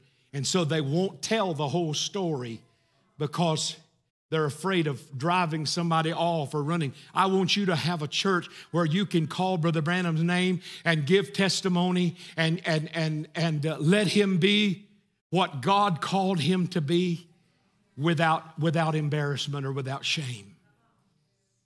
And I want you to have a church where people can worship God according to the dictates of their heart, and nobody is going to tell them how to worship God. She said, as long, of course, as it's decent and in order. She said, some people may hold their hands like this, some may hold them like that. Some may only dance when the Spirit of God moves on them. Some may dance as a sacrifice of praise. They may just dance because they're happy.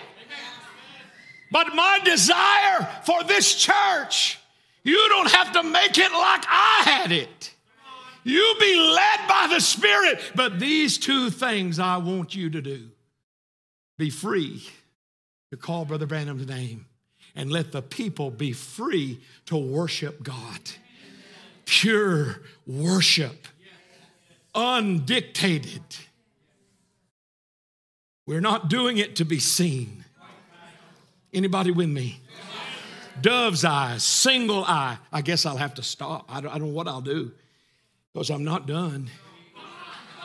Having this dove's eye indicates that we are becoming increasingly aware of the Lord's person and presence, and that we possess a spiritual awareness that will lift us above the pools of the earth. The single eye.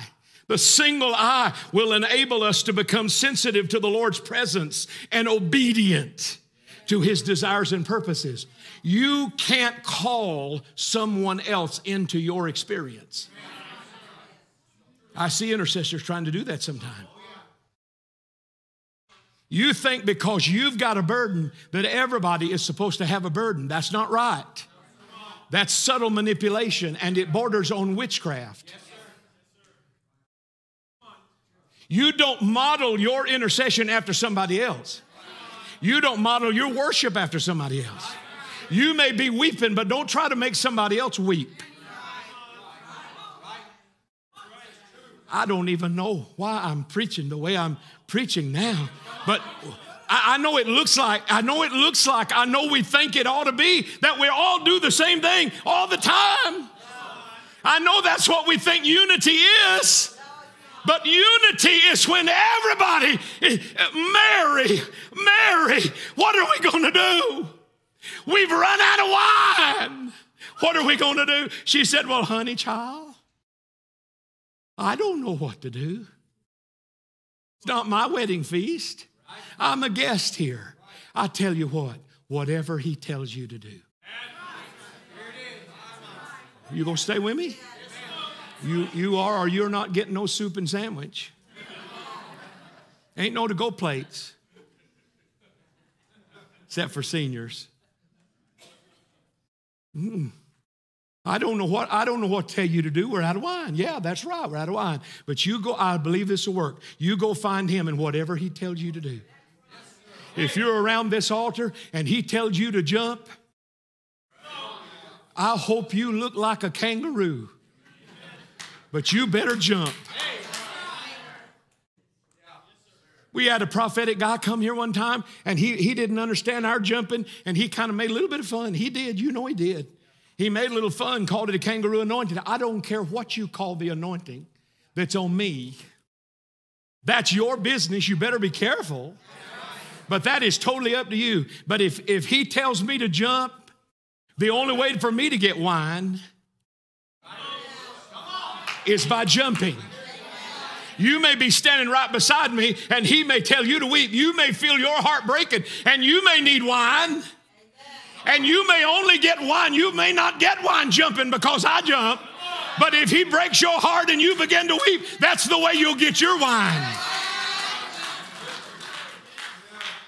He may tell somebody to walk about Zion. He may not tell us all to walk about Zion, but if he tells you to walk about Zion, you don't have to go bring somebody else to walk with you. You can't. I don't, I don't, I'm not trying to address those of you that have, you know, tried to encourage people in. I understand that altogether. But I want you to know they can do what you do and may not get the wine. The only way for us to have that wine is to do what He tells us to do. And if you're worried that you're not going to know, don't worry. Don't worry. He's given us dove's eyes, single eyes. We're going to learn how to lock our eyes on the bridegroom. And it ain't going to matter who's having an earthquake around us. Somebody may be over there in the corner and they may be having a typhoon revival. They may be spinning like a tornado. But you may just be standing there spiritually with your eyes locked on Him. And if your eyes are locked on, your dove's eyes are locked on the bridegroom, you lay there, right there, stay right there. Keep your focus. Single eye will enable us to be sensitive. The Lord's favor rests upon those who have cultivated a single eye toward Him. These can be easily led by Him, for they are close enough to see which way His eye is looking. Now, a few, few weeks ago, uh, somebody came to me and they said, Someone told me that they had a, an assignment to stand in a particular place, and I don't believe in that. Well, let me tell you something. It's not your assignment. God don't have to explain to you. Oh, I don't know if that's Bible or not. Let me show you how, much, how much Bible it is. What about him, Lord? What about him, Lord? What about John? How, how, come, how come you let him do like that? Jesus said, If I would that he tarry till I come, which means if I decide that he does not taste natural death, what business, what is it to you? Do you know one of these days John may walk in?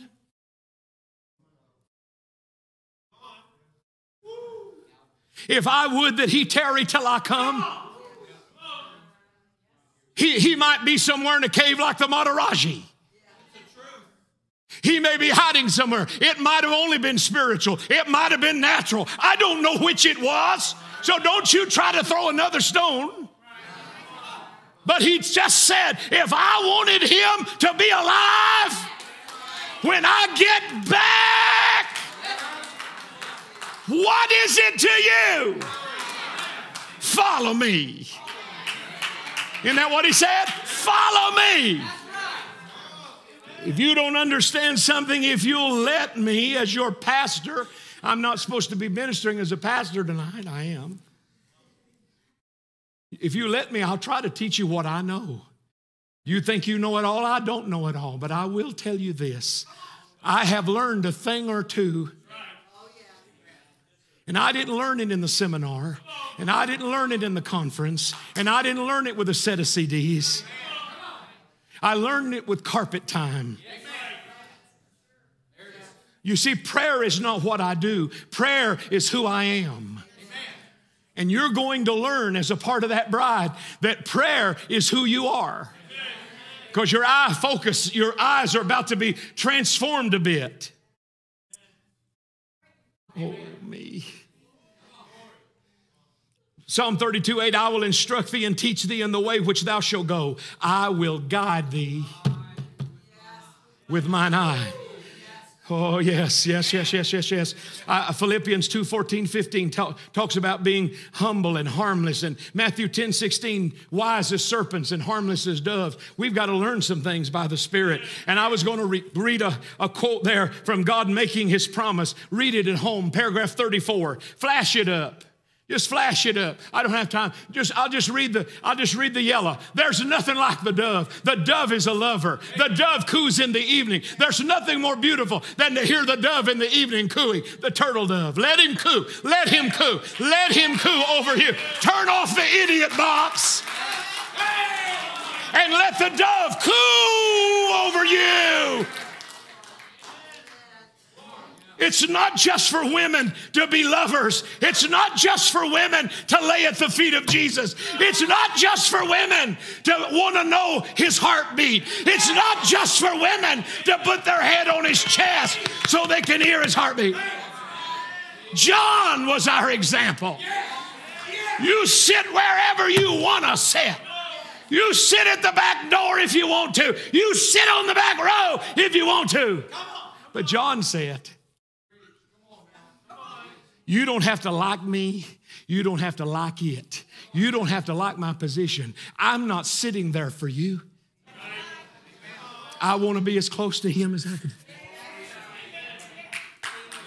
What did the prophet say about this desk right here?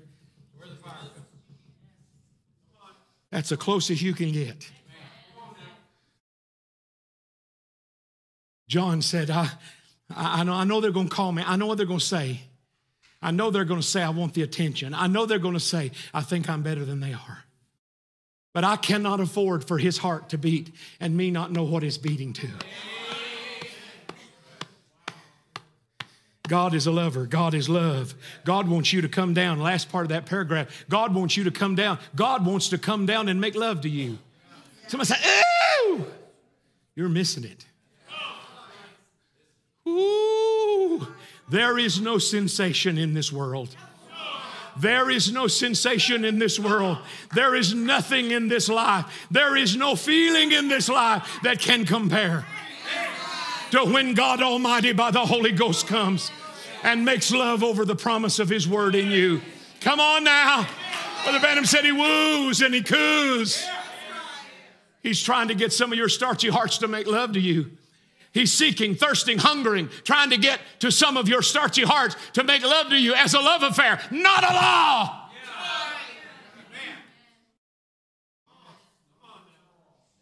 I can just hear him.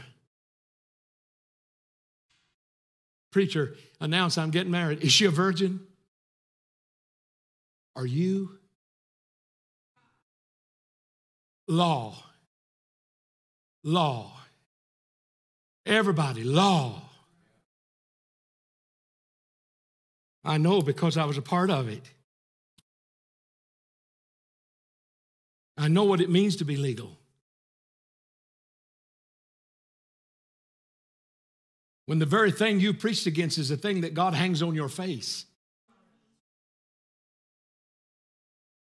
You'll understand how to humble yourself a little bit. Oh, they've tried. They, po- they post comments on pictures sometime.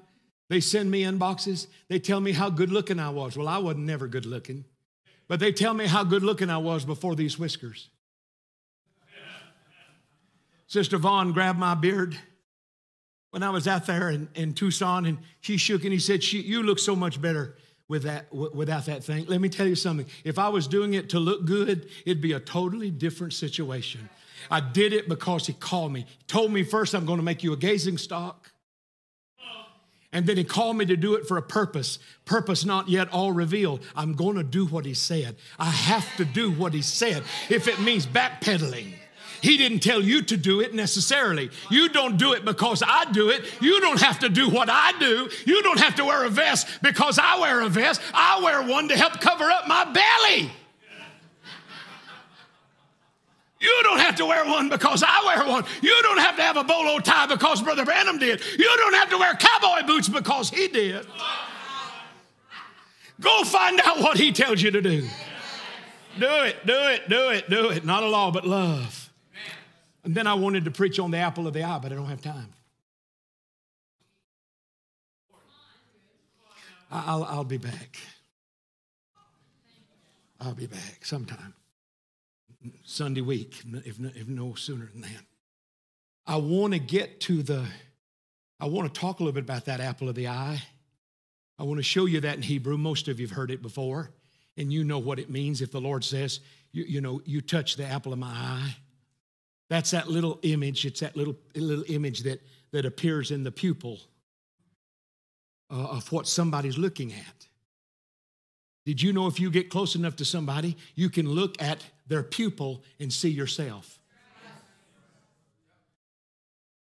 That word in Hebrew, that's exactly what it means. It means the little man in the pupil of the eye. In your case, it might be a little woman in the pupil of the eye. Haven't we told you over and over again, you become what you gaze at, what you look at, you become like? Don't you know God set us free some years ago and said, You're, you're still looking at the mirror of the law. You're still seeing your shortcomings because you're looking at the law, and, and you're not even supposed to be seeing your, your blemish. You're supposed to be seeing my image in the mirror, not your image. Your image in the mirror can't change you. Your image is the ugly truth. When you see the wrinkles, they're there. They're really there. It's not a trick mirror. I'm closing. It's not a trick mirror. We're no later than we were last night yet.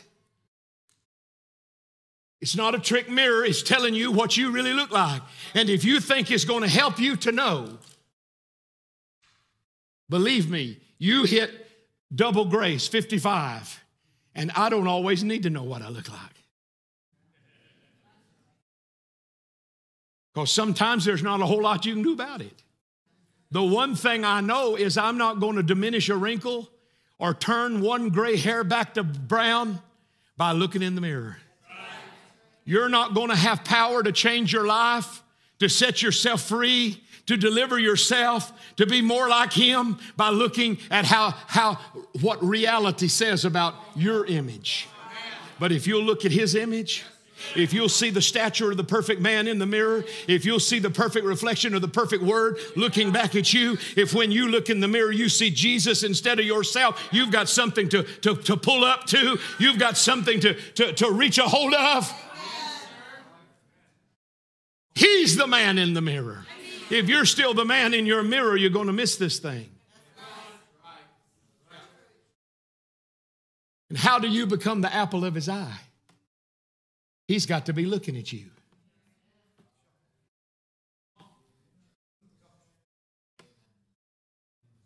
And he said, If they touch you, they have touched the apple of my eye. Let me tell you what God's saying. They're, he's saying they didn't put, they're not putting, let me tell you something. They take you apart, they're touching the apple of his eye. They didn't put you in God's eye. He chose what to look at. He chose you. I'll finish this another time. He chose you. He'll look at you if he wants to. Don't matter what anybody else says. If he's looking at you and you're the little man in his eye, if you're the little reflection in his eye, don't matter what anybody else thinks about you. When they touch you, they're touching him. When they're condemning you, they're condemning him. When they're judging you, they're judging him. Hello, hello, hello, hello, hello. And then I'll come back and talk to you about those fish pools in Heshbon. I spent all day today in those fish pools.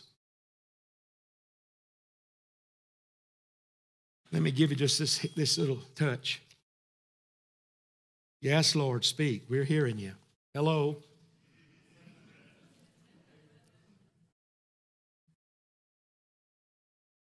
Thy, thine eyes are like the fish pools of Heshbon he made an, an, uh, an analogy.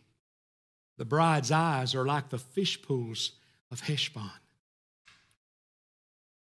You begin to do a little research. Don't let me do it for you, then you go check me out. And where are they located? Those fish pools in Heshbon were located in the, in the geographical location of the tribe of Reuben. Our brother was talking tonight about the tribe of Judah. That's such a powerful tribe. But Reuben was the firstborn of Leah. And the word she cried out when, when Reuben uh, arrived, she didn't say, Ain't everything going good? She said, The Lord has seen my affliction. She was trapped in a painful life. She knew she wasn't the first love. She knew she had become a baby factory for somebody that didn't love her like he loved the other wife. Even a brand new baby couldn't bring her the joy that it would bring somebody else. And she cries out at the birth of Reuben, The Lord has seen my affliction. So Solomon is telling us, if we go through the detail, and we will, I want to, I want to share that with you. We find out that Solomon is telling us that our eyes, the bride's eyes, are being formed by her afflictions. It's, it's not her joys that fixes her focus on him. Oh no. We're swimming in the fish ponds of Heshbon. We're over there in the land of Reuben where our affliction is what we see sometime. You know, there's some mamas that have had some babies that couldn't have the joy that other mamas had because they were born into homes where there was no peace. Somebody ought to think about what they're doing. I know you'll be mad at me. I've actually told a few people, why don't you just quit having babies by someone who doesn't love you and treat you right? Somebody said, Brother Shelley, that's not your decision. No. Somebody said, Brother Shelley, that, that's not her decision. Wait just a minute. You think a woman is nothing but a baby factory? You can take this out of the tape. You think a woman's nothing but a baby factory? You think a woman in her right mind is going to keep having babies to be raised by an atheist?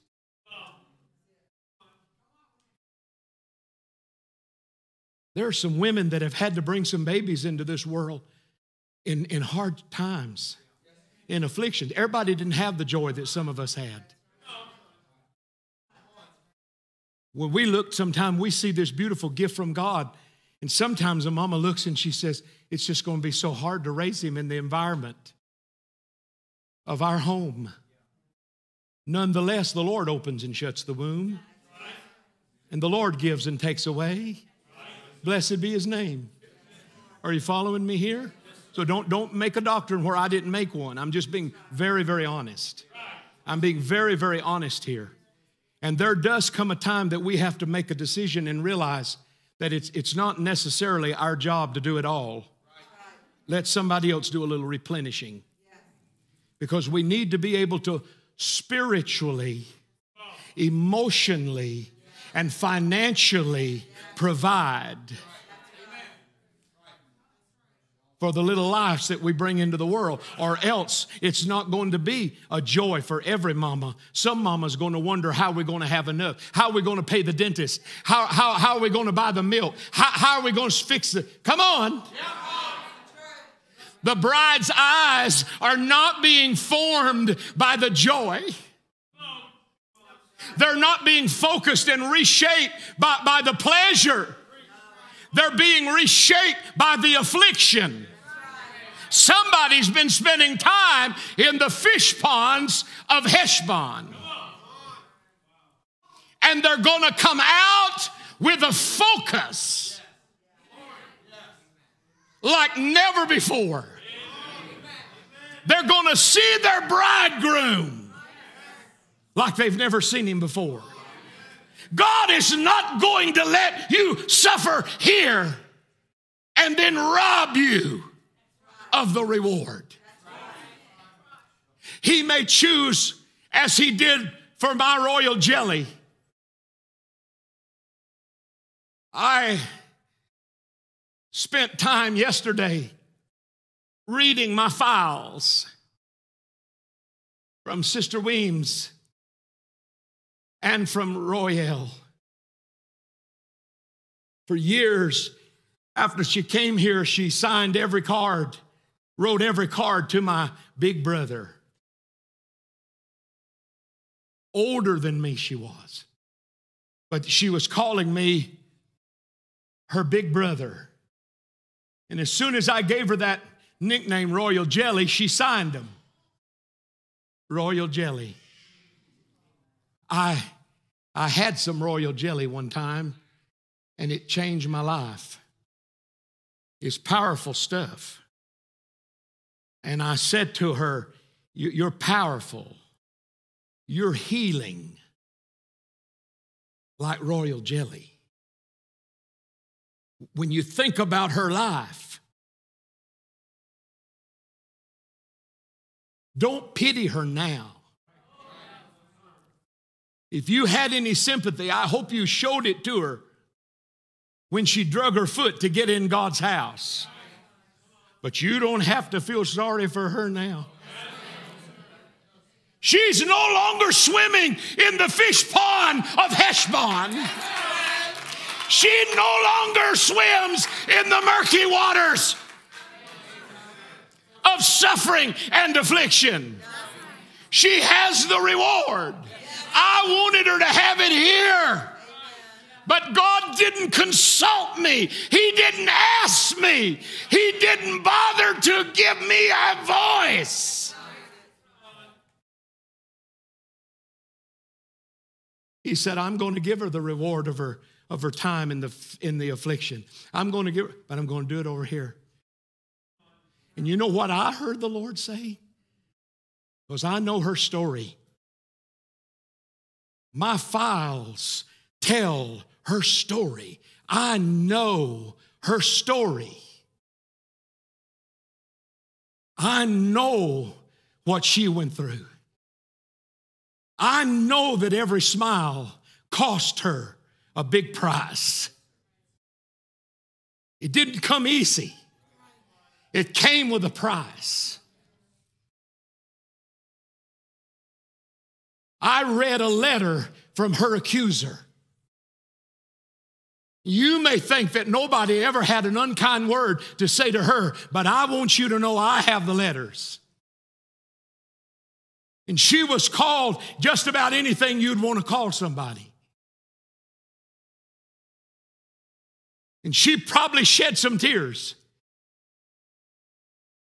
over the names that she was called. But she learned affliction is for a purpose, suffering's for a reason. Everything gets to going good. You may forget where you come from. You may forget the God who, who helped you the way he did. You may forget the goodness of God. You may forget. You may forget.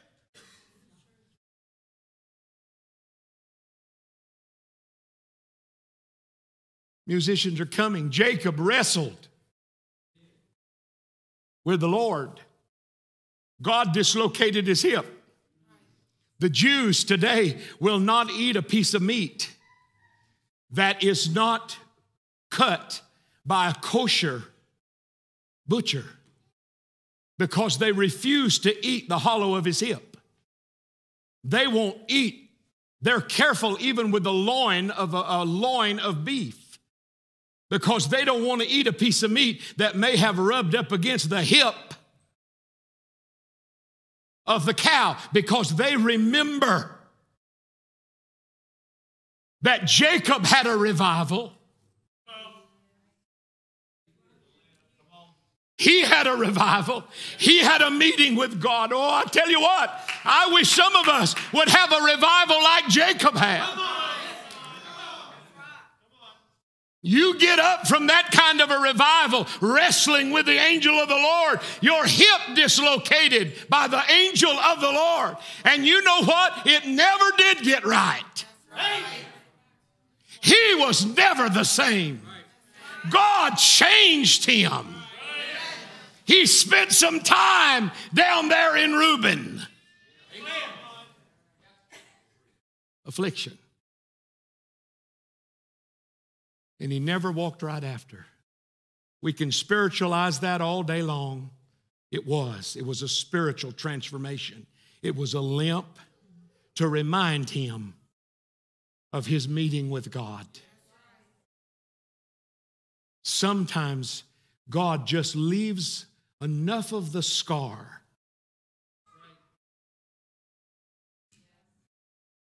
to always remind us what it's like to meet him. I'm refraining. There's so much more I'd like to say right here, but it gets a little too personal. May God encounter us this week. May He grab a hold of us and we grab a hold of Him. May it not just be that, that He's our beloved, but may we recognize I am my beloved's and my beloved is mine.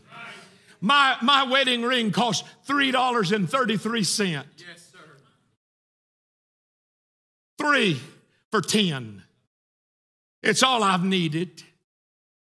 I might have another one one day, but it, this one has kept me married.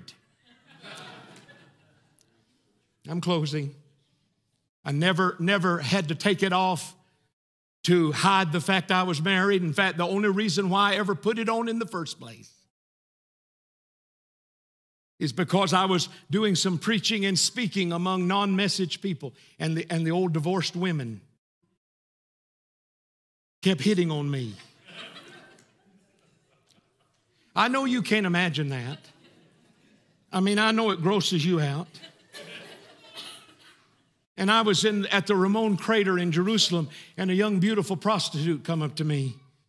And she asked me if I wanted a date. And I said, Lady, I'm married. She said, Well, you didn't have on a wedding ring. And I thought to myself, I bet the next time you see me, I'll have one on. so I went down to the little Arab shop and I was able to get. Uh, uh, I, I, just can't. I, am going to Israel the last uh, of this month uh, for a few days, God willing. And I, I was just reminiscing the other night with the family sitting around. I wonder will my Arab friends be there? I've not been in 11 years, almost 12. It's crazy how time flies. I wonder will my, will my falafel man still be in the same spot? You know, you start having these thoughts.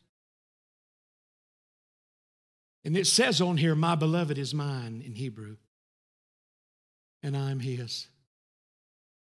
I want you to have that re- revelation. You think he's beautiful? How many of you think the Lord's beautiful? Let me tell you something, folks.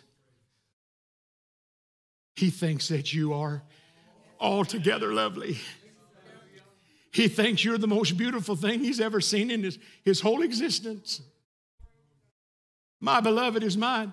Uh, sometimes I say, You're beautiful, Jesus. And, and a man, a big macho, bulky man, big, you know, bow legged man that really thought he was, you know, on a testosterone high.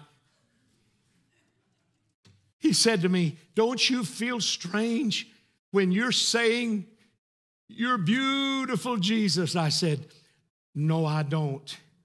And the only reason why you do is you've never seen him. Because if you ever get a glimpse, if you ever get a glimpse, you'll think that's the most beautiful. He's the most beautiful. There's nobody that can compare. There's nothing that compares to the beauty of the Lord. And every time I tell him that, do you know he longs to tell me? I don't see your Dunlap. I don't see your wrinkle. You're beautiful to me. Could he say that? Because it's his beauty. It's his beauty that makes you beautiful. Let's stand. 942, yeah, I went longer. Joshua, you were right, I did.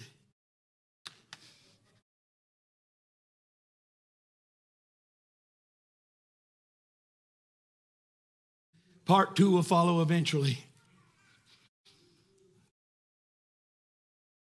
I, uh, I, I spent all day with him, and uh, well, there's just nobody better. He, he's the best company. I love my wife. I love my children. I love my family. I'd rather be with my family than anything I can think of. I love to eat with them. I, I even like it sometime when they bicker, but my wife don't. Makes her nervous. It only makes me nervous when they raise their voices. But sometimes when they're just going at one another, all in love, because how do you know? Because it always ends okay. The next day sometime, but it's always okay. And sometimes I just sit right in the middle of that and I think I'm the most blessed man, Lord Jesus. When I came to pastor this church, I didn't think I would ever have a wife. I told you that we're here in the beginning. I, let me love your children. Because I don't know if I'll ever have any children of my own. So I loved the ones we had. And God gave me a wife to love me and four children to love me and me to love. And I love being with them. Even when they pick the peas out of the rice. But I'd rather spend time in His presence with Him whispering on my shoulder than anything I can think of. And I was sitting in the recliner today by myself, going over this, putting this uh, together for tonight. And I saw an open vision. And what I saw before me, I knew exactly what it was. It was the image of the broken pieces of a kaleidoscope. If you've ever picked a kaleidoscope up and, and looked in it, you see those little fractals, those little broken pieces of glass that look chaotic. It looks like just a, a mess.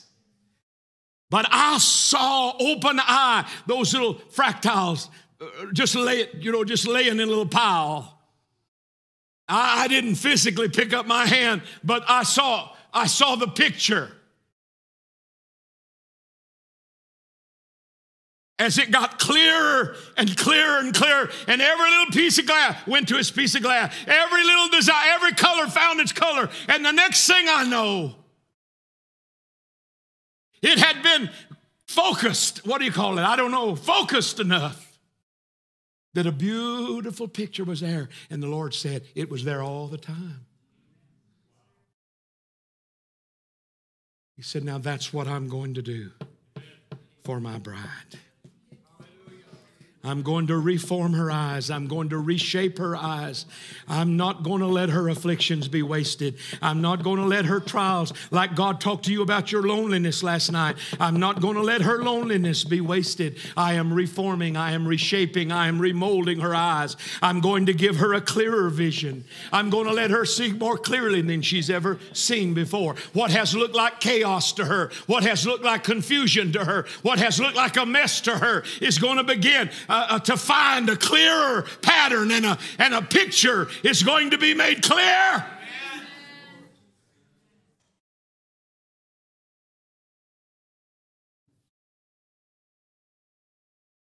And I'm out. I'm done. Come.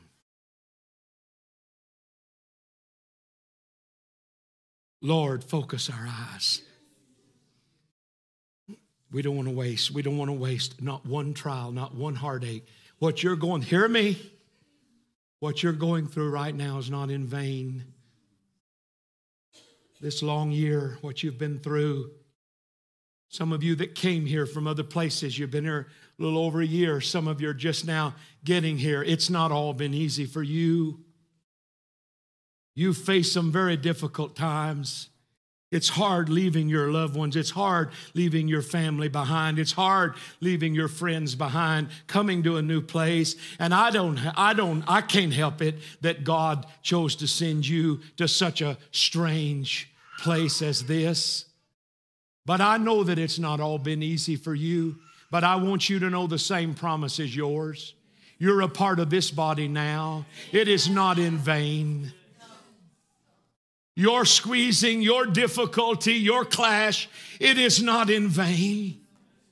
God is surely doing the same thing for you that He's doing. He's using the years of your affliction, He's using the things that you have been through to refocus. He's good.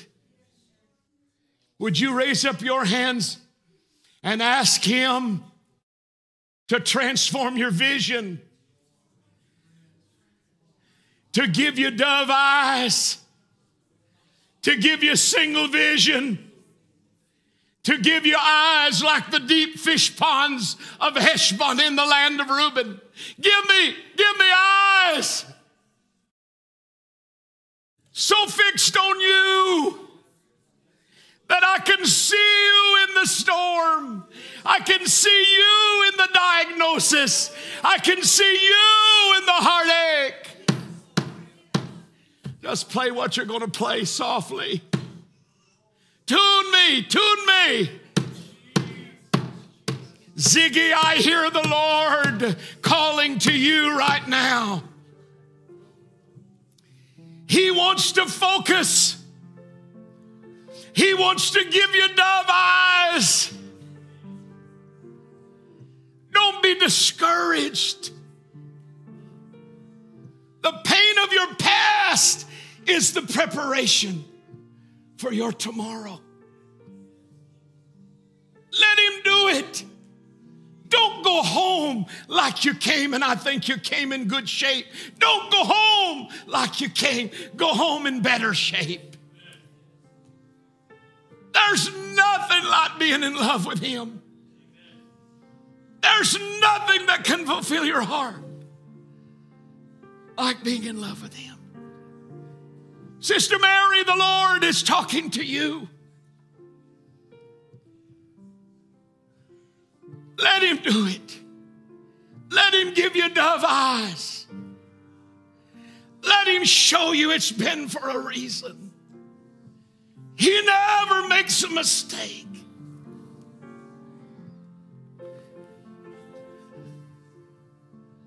Let Him talk to you. Draw me, my beloved. Let me look into your face. My beloved is mine, and I am his. Draw me close to you. Draw me, my into your embrace. Draw me, my beloved, let me look into your face. My beloved is mine, and I am his. Draw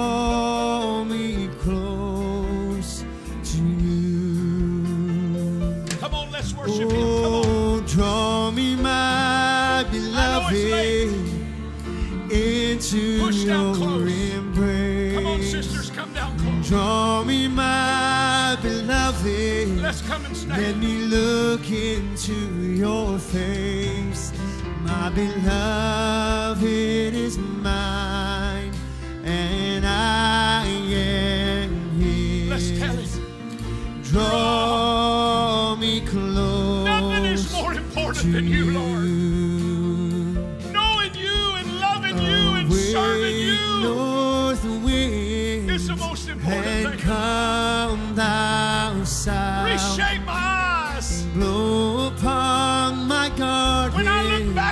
that the past, let me see spices something I never saw before. My beloved is I've looked at the devastation. I've looked at the heartache. I've looked at the confusion. I have remembered the grief. But when I look at it next time, Lord, let me see beauty me, for the ashes. beloved, into your embrace. Draw me, my Let beloved. me see you making an army Let me look into where a your graveyard has face. been. My beloved is mine. And When I felt so lonely. Let me see you there. Draw me close. Remind me that you were there. You oh, long to embrace me,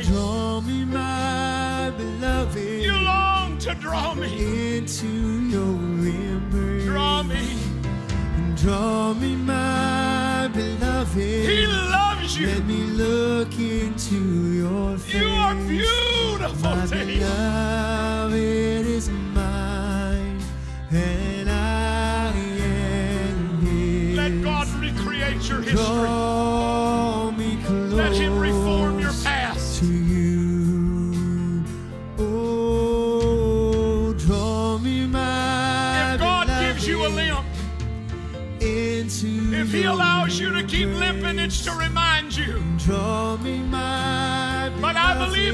scars, me look into your many handicaps. My that God wants to erase from your history. And I am Many heartaches, many close He wants to wipe them out. to you. He wants to clean your. He wants to paint your mind with Calvary's blood. Stretch your heart to Him. Come on, let Him do it. Try to forget the hour. Try to forget the time for just a moment. Blow upon my garden that the spices may flow out. You're beautiful to My Him. beloved is mine, and It's not all lost. It's not all lost. Draw restore. Let Him renew. Let Him refresh. and draw me, my beloved, into your embrace. Draw us. Lord, draw me, my beloved. Let me look He's stirring. into The Holy Ghost is stirring His finger. My beloved He's stirring you with is his finger. The Holy Ghost is stirring you with his finger. Draw me close. These thorns. Into your embrace. Moving. Draw me, my Let him pour oil on your church hurt. Let me look into your face. Let him pour oil on that right now. Beloved is mine. Your disappointment that things didn't turn out the way you wanted them to turn out. Let him pour oil on that right now. It's okay. It's okay. Draw me close Because he's still your beloved. My beloved is mine and I am his. Draw me, my beloved.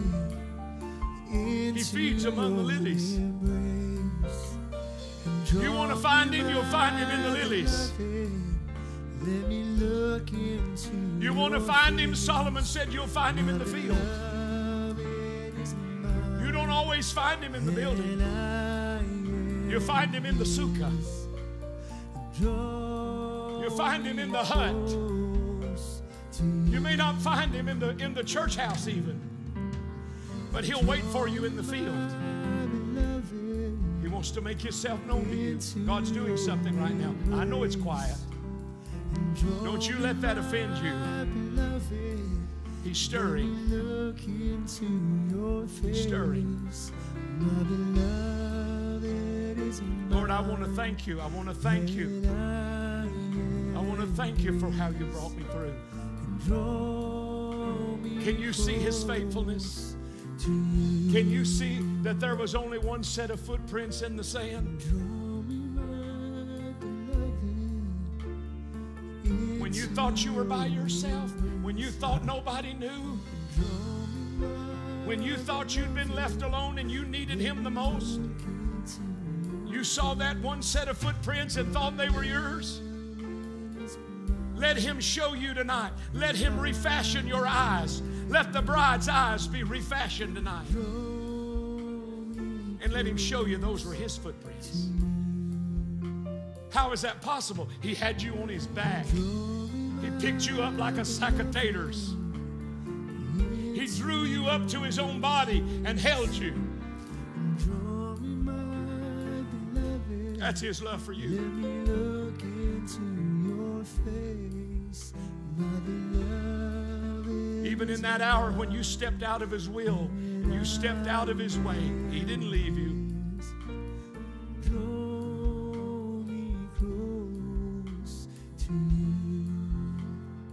Let's love on Jesus right now. Come on. Draw me, my beloved. Draw me, into your embrace. draw me. Draw me, my beloved. Let me look into your face. My My beloved. beloved is mine, and I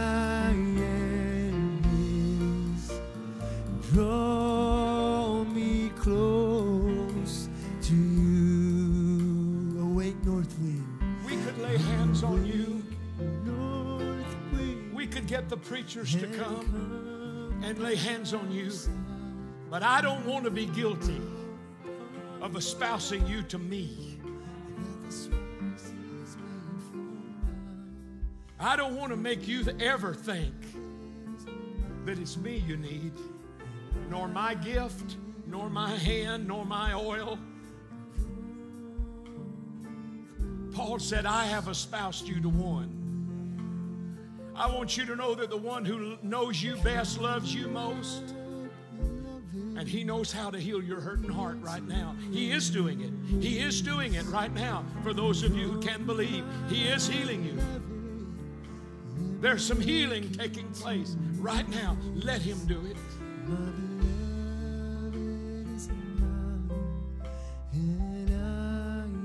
I am his. Close to you. Hallelujah, Jesus. Come on. And draw, Draw me, me. my beloved, Draw me. into your embrace. I want you to draw, draw me. me, my beloved. Pull me up to Let your me side, look Lord. into your face. My beloved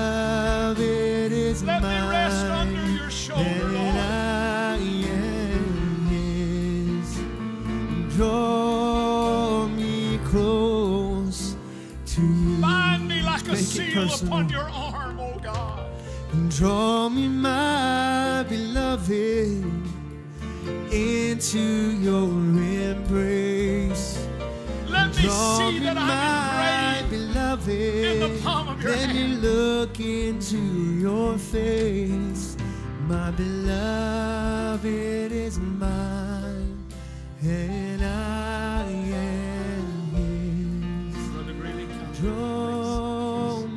close to you. And draw But me, come do my something As we get ready to close. into your embrace. Draw me, my beloved. Let me look into your face. My beloved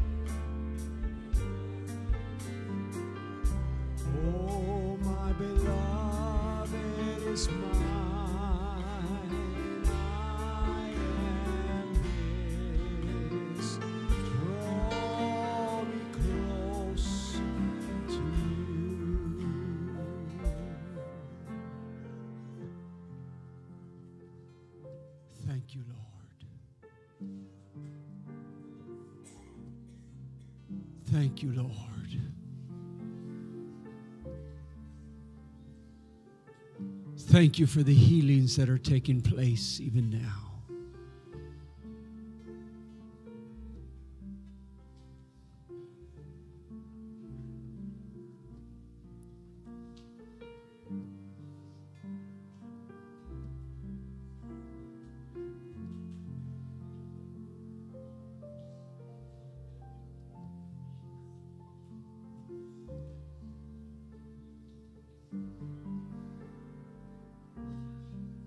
Thank you that you are present.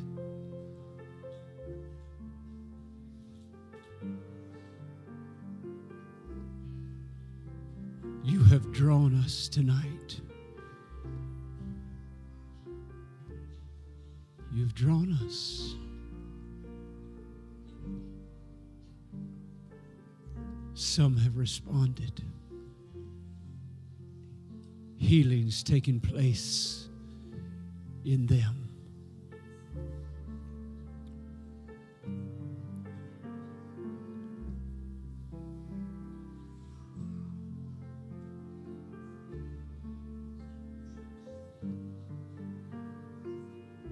Places that they didn't want to go. But you beckoned and they responded. You are healing. Thank you for the salve of the Holy Ghost.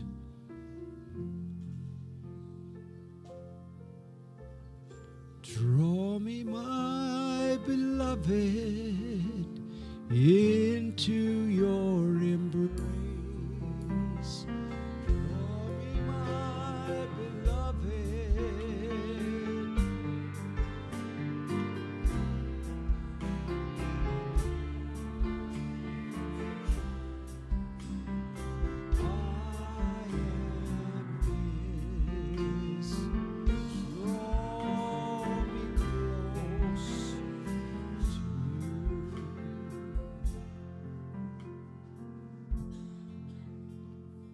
Father, watch over your people as they would go to their homes tonight.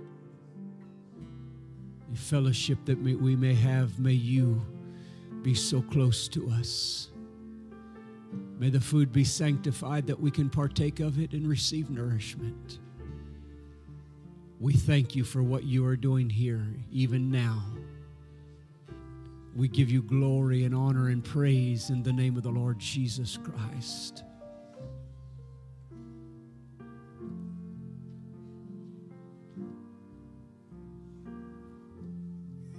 If you finished, you'd like to be dismissed, you're welcome to leave at any time.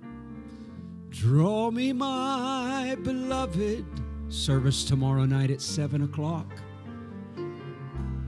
Oh, my beloved is let me look into your face. My beloved is mine. I am his. Draw me close.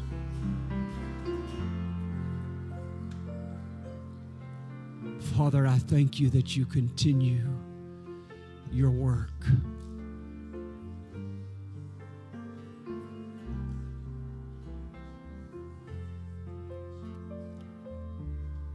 Even in the night season, Lord, you continue your work.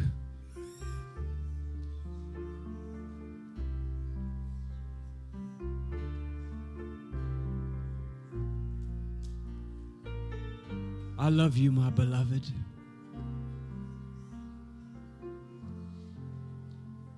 Thank you for the drawing of your Holy Spirit.